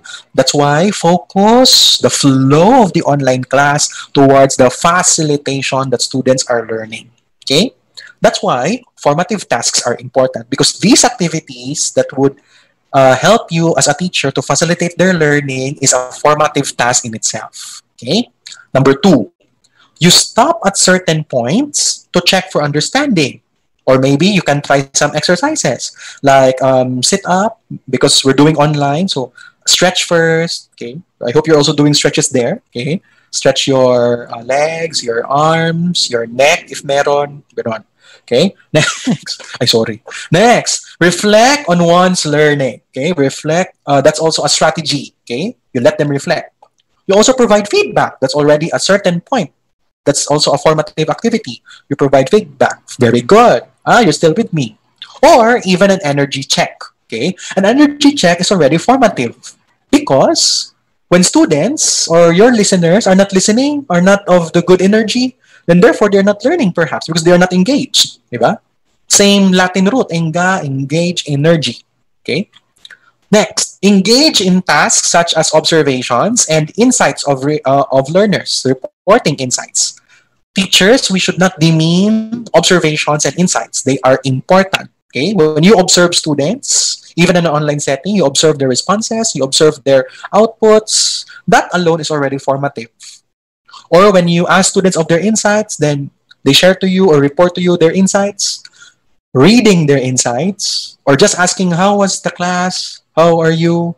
Uh, how have you been doing? Has the activity been difficult? What can you do? These are already insights. And that is already formative assessment.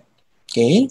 So don't forget that, dear teachers, these are more important than the grades and the, and the online tests and quizzes. Last strategy for formative strategy for formative online assessment is to let them compare their initial idea and to the changes in the ideas after your synchronous class. So example perhaps would be you ask the students just like the strategy earlier, you ask them a question, then you don't answer the question yet. Then they have to listen to the synchronous class. Then you let them compare what they have uh, what they have thought or you let them answer their question beforehand and let's check if they were able to answer it. That is already formative assessment. Even if it's found in the end, the, the, the way that it is formulated is still formative in its essence because we are trying to check on the previous idea. Okay? And that's nice. Yeah, that's still formative. And again, my dear teachers, formative assessment is more important than summative assessment. But I have here some strategies as well for summative assessment. The summative assessment is crucial, even if it's not important for Sir Ayo, because it's what is being shown as the grade or the marking of the student. Kaya it, it seems important. But again, my dear teachers, don't forget that there should be formative strategies or formative assessment activities that were done so that we can prove that the summative assessment is the correct assessment of students' learning or the correct evaluation of students' learning. Okay? First and foremost, I would like to remind you that there is a need to reassess assessment. Meaning we have to change the way we think about assessment, especially in an online setting. Maybe we still have been thinking about assessment, which is on quizzes, knowledge based, and if you come to think of it, it could be cheated. You cannot see students when they are answering the questions. They could open a new tab so that they could find the answer. They could open their notes on the side. Diba? So the more that we should not make use of such tests, which are uh, knowledge-based tests, multiple choice, true or false, because it's cheatable.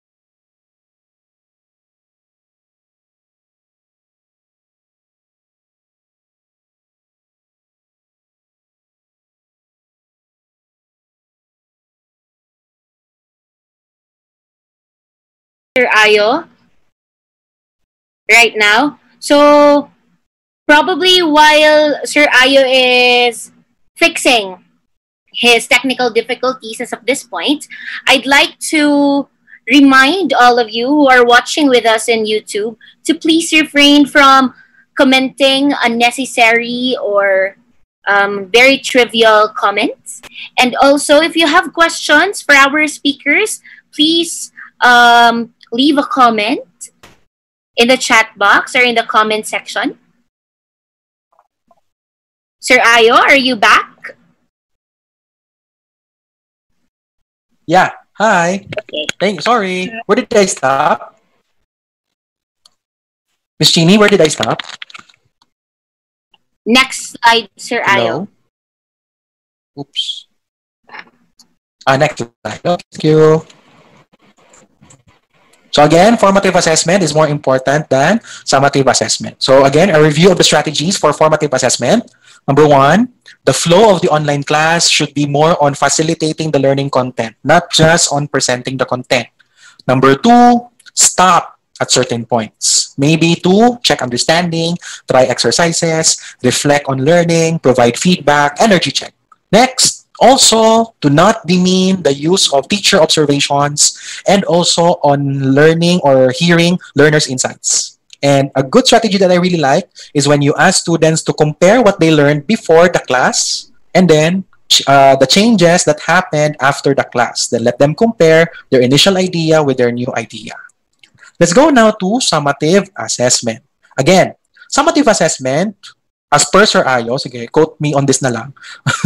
I uh, I really believe that formative assessment is more important than summative assessment. But we could not also delineate summative assessment because it's what is shown in your report cards. It is what is shown in, as grades. And therefore, it's a proof uh, of students' learning. Kaya nga, we should not, we should be careful when doing summative assessments. Okay? But again, we do formative assessments and we should do them well so that the summative assessment is a reflection of what students have learned during the formation of learning. Okay? Again, um, number one, strategy.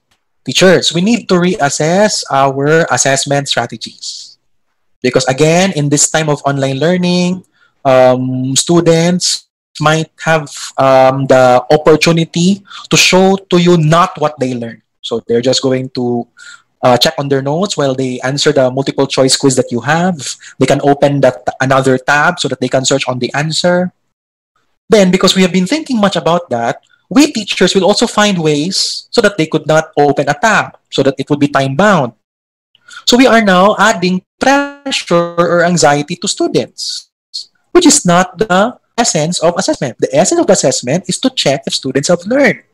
So we we should get off those worries. Therefore, we have to reassess our assessment. Is a multiple choice quiz of 40 items a good assessment for what I'm teaching to my students about this topic? Or could there be a better assessment activity? Right? Need to reassess assessment. Number two, we need to stop assessing. Okay? We need to just distill from purified what then should students must learn. With the 70 competencies that you have to teach students in a particular year, let's say you're teaching grade 7, which are the top 20? Parang Miss Universe lang, no? We need to select the top 20. We need to select the top 20 competencies lang that uh, students should gain from this subject. Kasi sila yung napaka-essential, sila yung napaka-important. That's why DepEd has a document, MELC, Most Essential Learning Competencies. Okay? Next. Better if we ask students to do performance tasks. Okay? And performance items. We demand students to apply their knowledge. We ask students to show to you that they learn, not just answer items, not just answer true or false tests, not just answer um, identification activities or questions. Better performance tasks. Okay? And maybe you are a long-term PBL project. And I'm very proud with um, my students, our students in the College of uh, School of Education who actually did a PBL project okay, last summer. Again, shout out to my students there for doing a good job. And thank you also to the teachers in the School of Education during that summer for having a PBL project. And we did a PBL project in three subjects. So just imagine that. Diba? Why not? Diba? That's possible. Actually, very good. It lessens the task of students and it hits the targets or the outcomes of the three subjects. Then move to a series of smaller events from a big one. Break part a performance task to mini tasks. So your mini tasks in the big performance task could actually be your formative activities. Okay? Then at the end of weeks or of your uh, subject, you could now have the bigger performance task output. That would be your summative assessment. Other strategies here use conversations and oral defense. Conversations and oral defense are actually good as strategies for summative assessment because confidence on what they understood and they were able to answer you, that alone is already a proof that they learned. Then, teachers, please allow students to take time, okay? in the performance tasks. You should give them also ahead of time as well. Leverage technology tools. So make use of the technology tools that are available. In my case, I use Microsoft uh, Forms because they are actually very helpful for students reporting of what they know, essays also. Then, last but not the least, teach academic honesty. And you, we need to trust our students. In the same way our students trusted us with what we are teaching them, we too have to trust our students. Also, last but not sorry, last but not the least is to use professional judgment. You have to also identify for yourself if the grade or the summative evaluation that students will get is really what students have learned. And that involves professional judgment as teacher. These are some examples. Um, I gave feedback on the essay using Moodle. I gave um, objective test through Microsoft Forms. And I use Angelica's um, post on Facebook and Instagram. Thank you, Angelica. Hi, Angelica. Uh, when I gave feedback on their videos on Flipgrid. And they like the feedbacks. They like the idea that uh, I read, I view their um, outputs. Performance task using Microsoft Forms. Conversations as my midterm examination. I did an empathy talk with um, some people uh, in the in the field, and also PBL-based oral defense task uh, when we did last summer.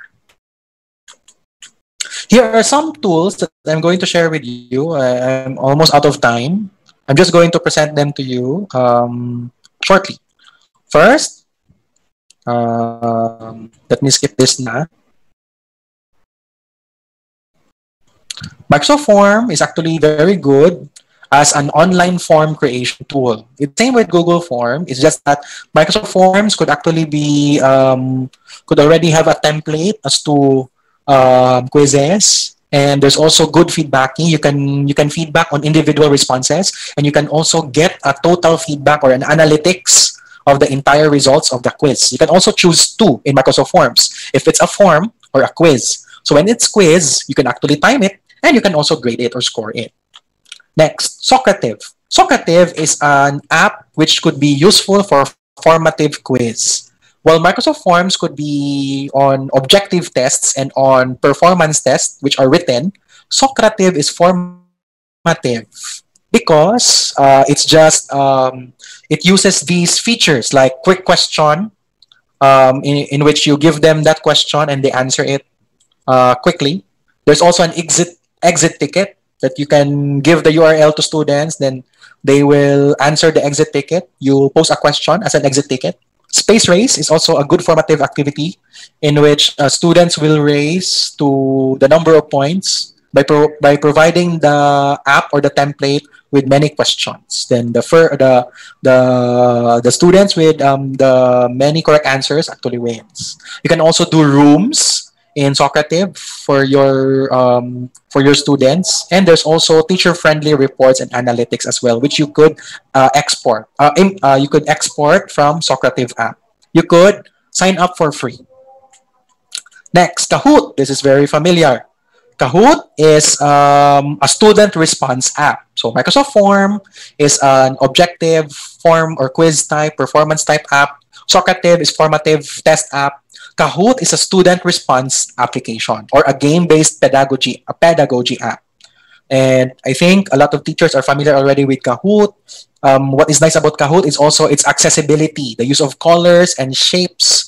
If ever the student is colorblind, we, they can use the shape. You can also use size, sound, and timer as well. And it's very student-friendly.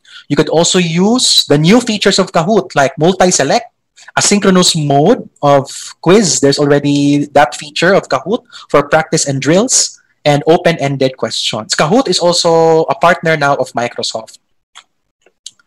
The last tool, which I also like, which I'm going to use uh, this semester, Showbie is an assignment submission or portfolio application. So I'm giving you these tools of different um, purposes. So Showbie is a submission application. So it's a one-stop place for giving and receiving feedback also of the assignments that were submitted to students. So just imagine a rack in your in your table, teachers. That rack is Showbie. in an application in which you could organize in folders uh, the assignments of students. You could also give right away feedback to the student submissions, maybe through written, markings, and even verbal feedback. You can also compile the students' works in a portfolio, an e-portfolio. And Showbie is also very good with mobile gadgets. Just to end my talk for this evening, and I hope you've learned a lot from my talk this evening, uh, tips for um, top tips for a growth mindset. We need to remind ourselves that in this uh, in this online setting, we need already to uh, always consider uh, the growth mindset more than the fixed mindset. Okay, meaning we need to be open with change, both teachers and students alike. We need to set out feedback. We need to catch ourselves from time to time if ever we have the fixed mindset. Okay, uh, use setbacks as an opportunity to understand, improve the next time, focus on the process of learning rather than the outcomes or the summative grade. And last but not the least, instructor presence. I'm going to go back to my first topic. Instructor presence actually is equal to empathy. So when you show that you are there with students, it actually means also that you are very empathetic with students. Uh, Hattie 2008 demonstrated that one of the most powerful ways to impact student achievement is teacher-student relationship, specifically variables of empathy, warmth, and encouragement. And this is applicable in all settings, face-to-face or online. So, three pillars of humanizing online learning, presence, empathy, and awareness of students' needs. Thank you so much. Keep safe, everyone. Thank you for allowing me to be your speaker for tonight. Chini. Thank you so much, Sir Ayo, for the amazing strategies that you have given us. You have also given us um, some assessment tools or technology tools that we can use in our classes. This time, uh, there are some questions that our viewers have posted. And I have here a question that is specifically for Sir Paul. Is Sir Paul still with us? Uh, Hi, Sir Paul. Good evening. Thank you for still being with us. I have here a question that is for you. This um here uh here it is, sir. In online teaching, how do teachers navigate successfully considering the learner's multiple intelligences, multicultural, and diversity? Okay, uh, a good question. Bloom do have a uh, Bloom ha- uh, the Bloom's taxonomy do have a corresponding digital tools. They can search that.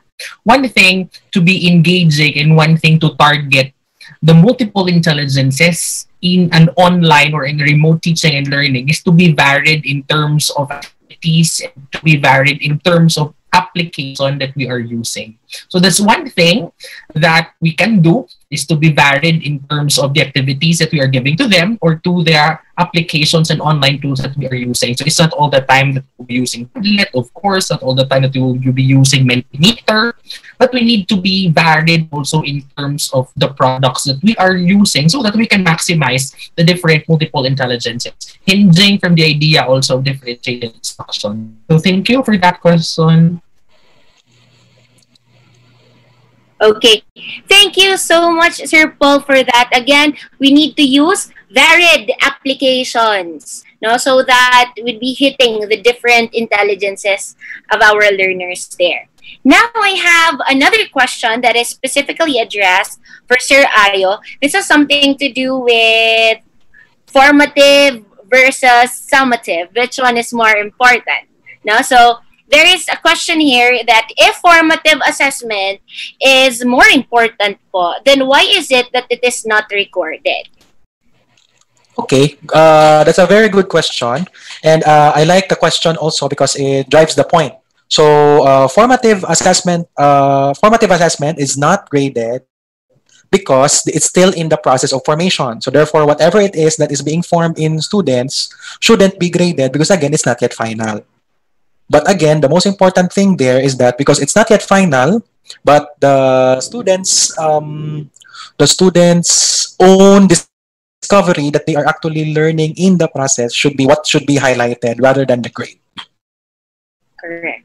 Okay, thank you so much, Sir Ayo. Again, Correct. it's the process. Correct. Wow, Yes. parang. It's the process of learning that you want to assess, right? That's right, Oo, Sir Ayo. tama. Yes. So Thank you. really learning because again, Mm. if I if I remember it right, Sir Ayo mentioned that it's very easy for us to cheat for the summative test because we are we want to have a good grade, we want to have a high grade, no? So um, it's prone to cheating. So it's formative assessment, no? But that's a very good question. Thank you so much. This time, again, as much as we would really want to um, answer more questions. This time, we'll have our trivia. So, for our trivia, again, please prepare your hands and your brain. If you have listened to our speakers this evening, you will be a, and you will be the first one to answer. Again, the first person that I see based here on my um, screen will be the winner. I apologize and congratulations in advance. So I have here two questions from the talks of our two highly esteemed speakers. If you're ready, please type ready in the live chat. And you will win 100 pesos worth of GCash. You just have to send us a message once your name is called. You send us your GCash account number and your name, and we'll be sending you your prize. Are you ready? Okay, so it seems that a lot of people are ready to win some Gcash right now. Okay, the first question. Wait, you cannot answer not unless I say go. Okay, so I will only honor the answer right after I say go. Before, okay, for a while. Before, three R's, as mentioned by our speaker earlier.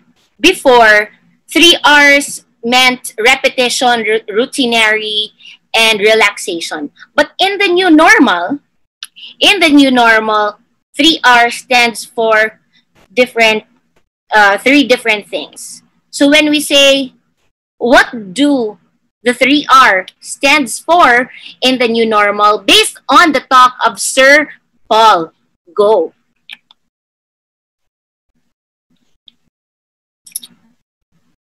What does the three R stands for based on the talk of Sir Paul? Correct. Sir, Sister Riza. Sister Riza prayed a lot tonight because she won the trivia for tonight. Sister Riza Sindangan. That's correct. Roles, rules, and routines. That's right, Sir Paul, di ba? The three R's of the new normal. Yes, yes. Okay. Rules, rules, Thank you so much. Good job, sister. This time, our next, kindly please send your GCash account so that you we will be sending the money tonight. Next. But I'd like to acknowledge that many of you really were able to get the correct answer. So you were all listening. Good job. If I only have a lot of money, I will send all of you GCash right now. Okay. So now I have another question. This comes from the talk of Sir Ayo. This means creating the perception that the teacher is with the students in the process of learning, online or not. Go. Umuwi ani ang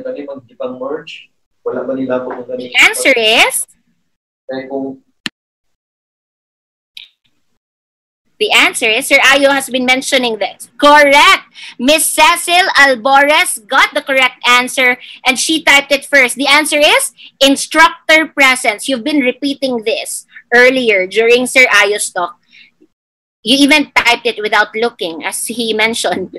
No, so again, the winner for the next question of the G for the Gcash load is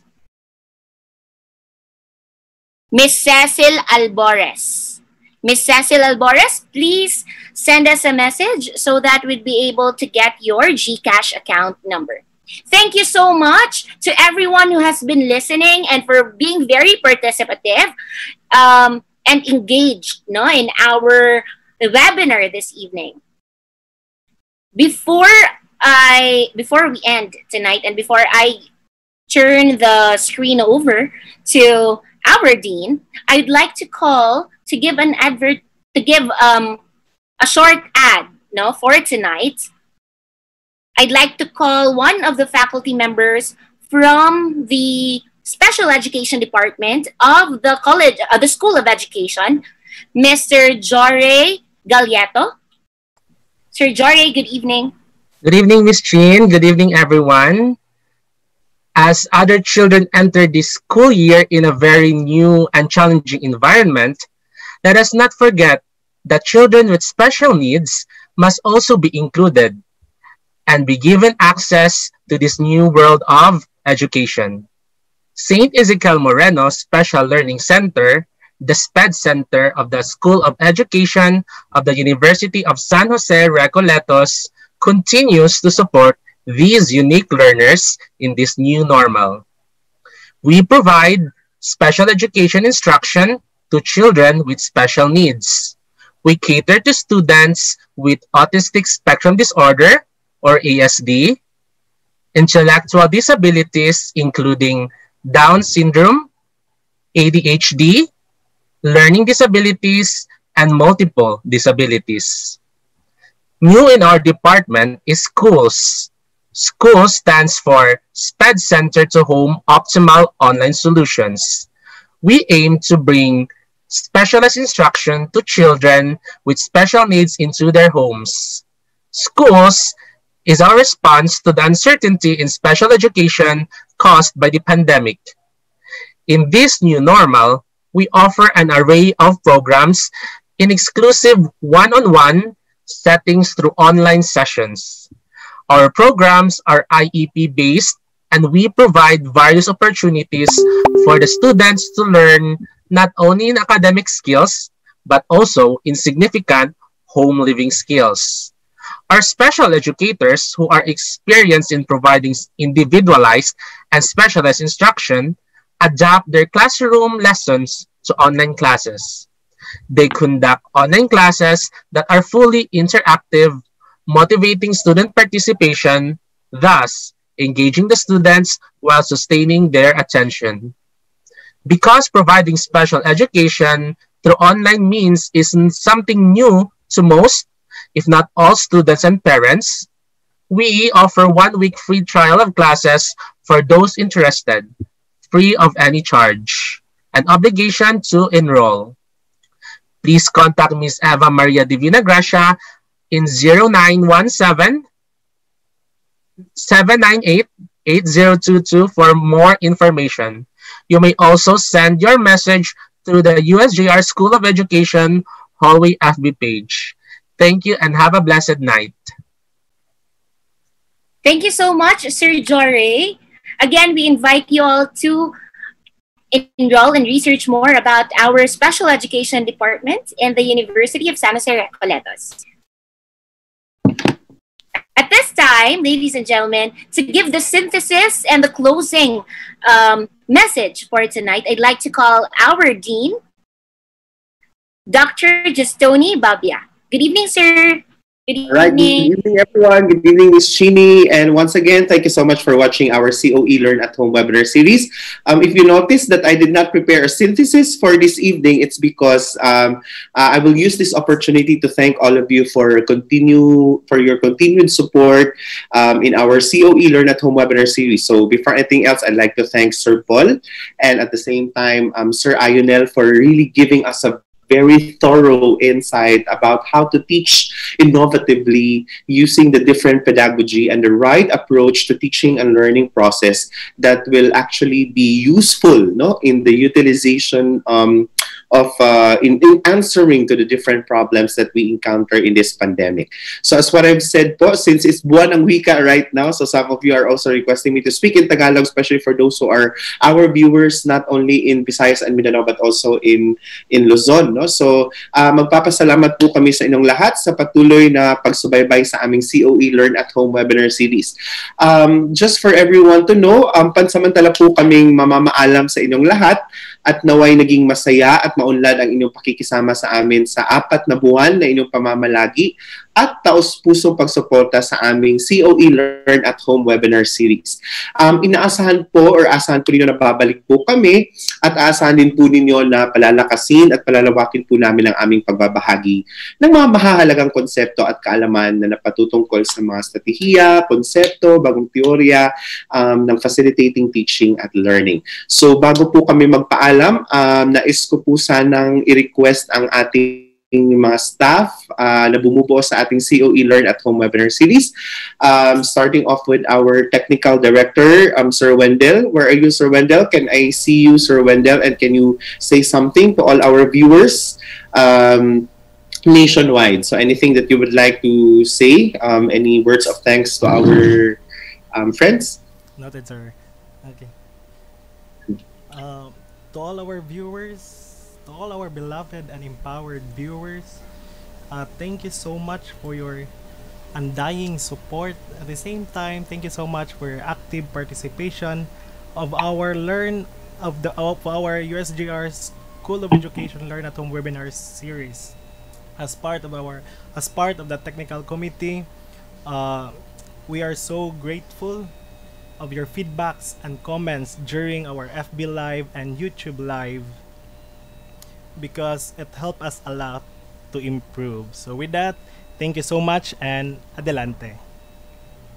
Thank you so much, Sir Wendell. Adelante. And of course, of the COE Learn at Home webinar series, the one who is actually answering all your queries, all your questions. And of course, we will still be active 24 hours. And it's because of this one very important person is actually manning our School of Education um, official page. Um, Sir Ayo, do you have um, anything uh, to say? Uh, words of thanks and appreciation to all our viewers? Thank you, Sir Bob, for the opportunity. Uh, hi, everyone. Um, we would like to say goodbye for now as we are going to end or cut short the uh, the second series. Uh, instead of the eight sessions, we will have seven sessions because of um, how busy we are with the university preparation. So I hope you understand. Um, but um, we really thank you for the chance and opportunity to serve you through these uh, content that we are sharing every Friday night. And I am very glad to serve you all while answering your queries in the set page and in the emails. And uh, with that, um, uh, we hope that you continue to work with us also as we continue to provide content uh, in the months to come. Uh, maybe we are planning actually to have once a month na lang.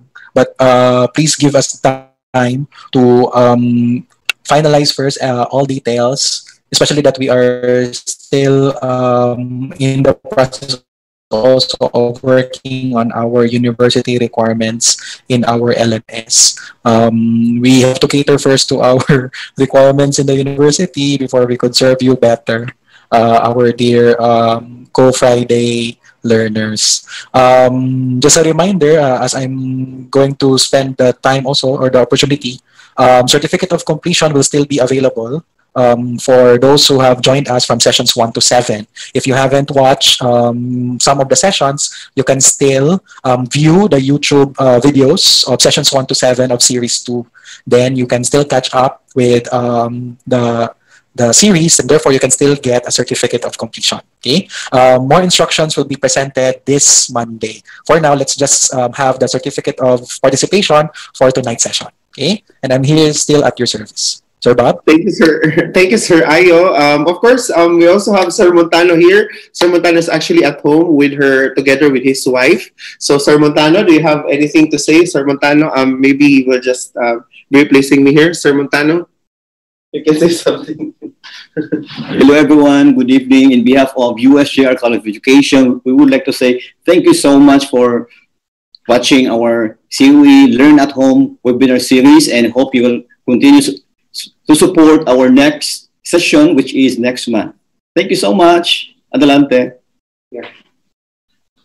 All right. So thank you so much. So um, I guess uh, we don't have um, any more staff here. So again po, muli maraming maraming salamat po. Um, hopefully we can still provide you with um, the best and the latest topics about education. And we will also be partnering with other universities and institutions. We will work for it.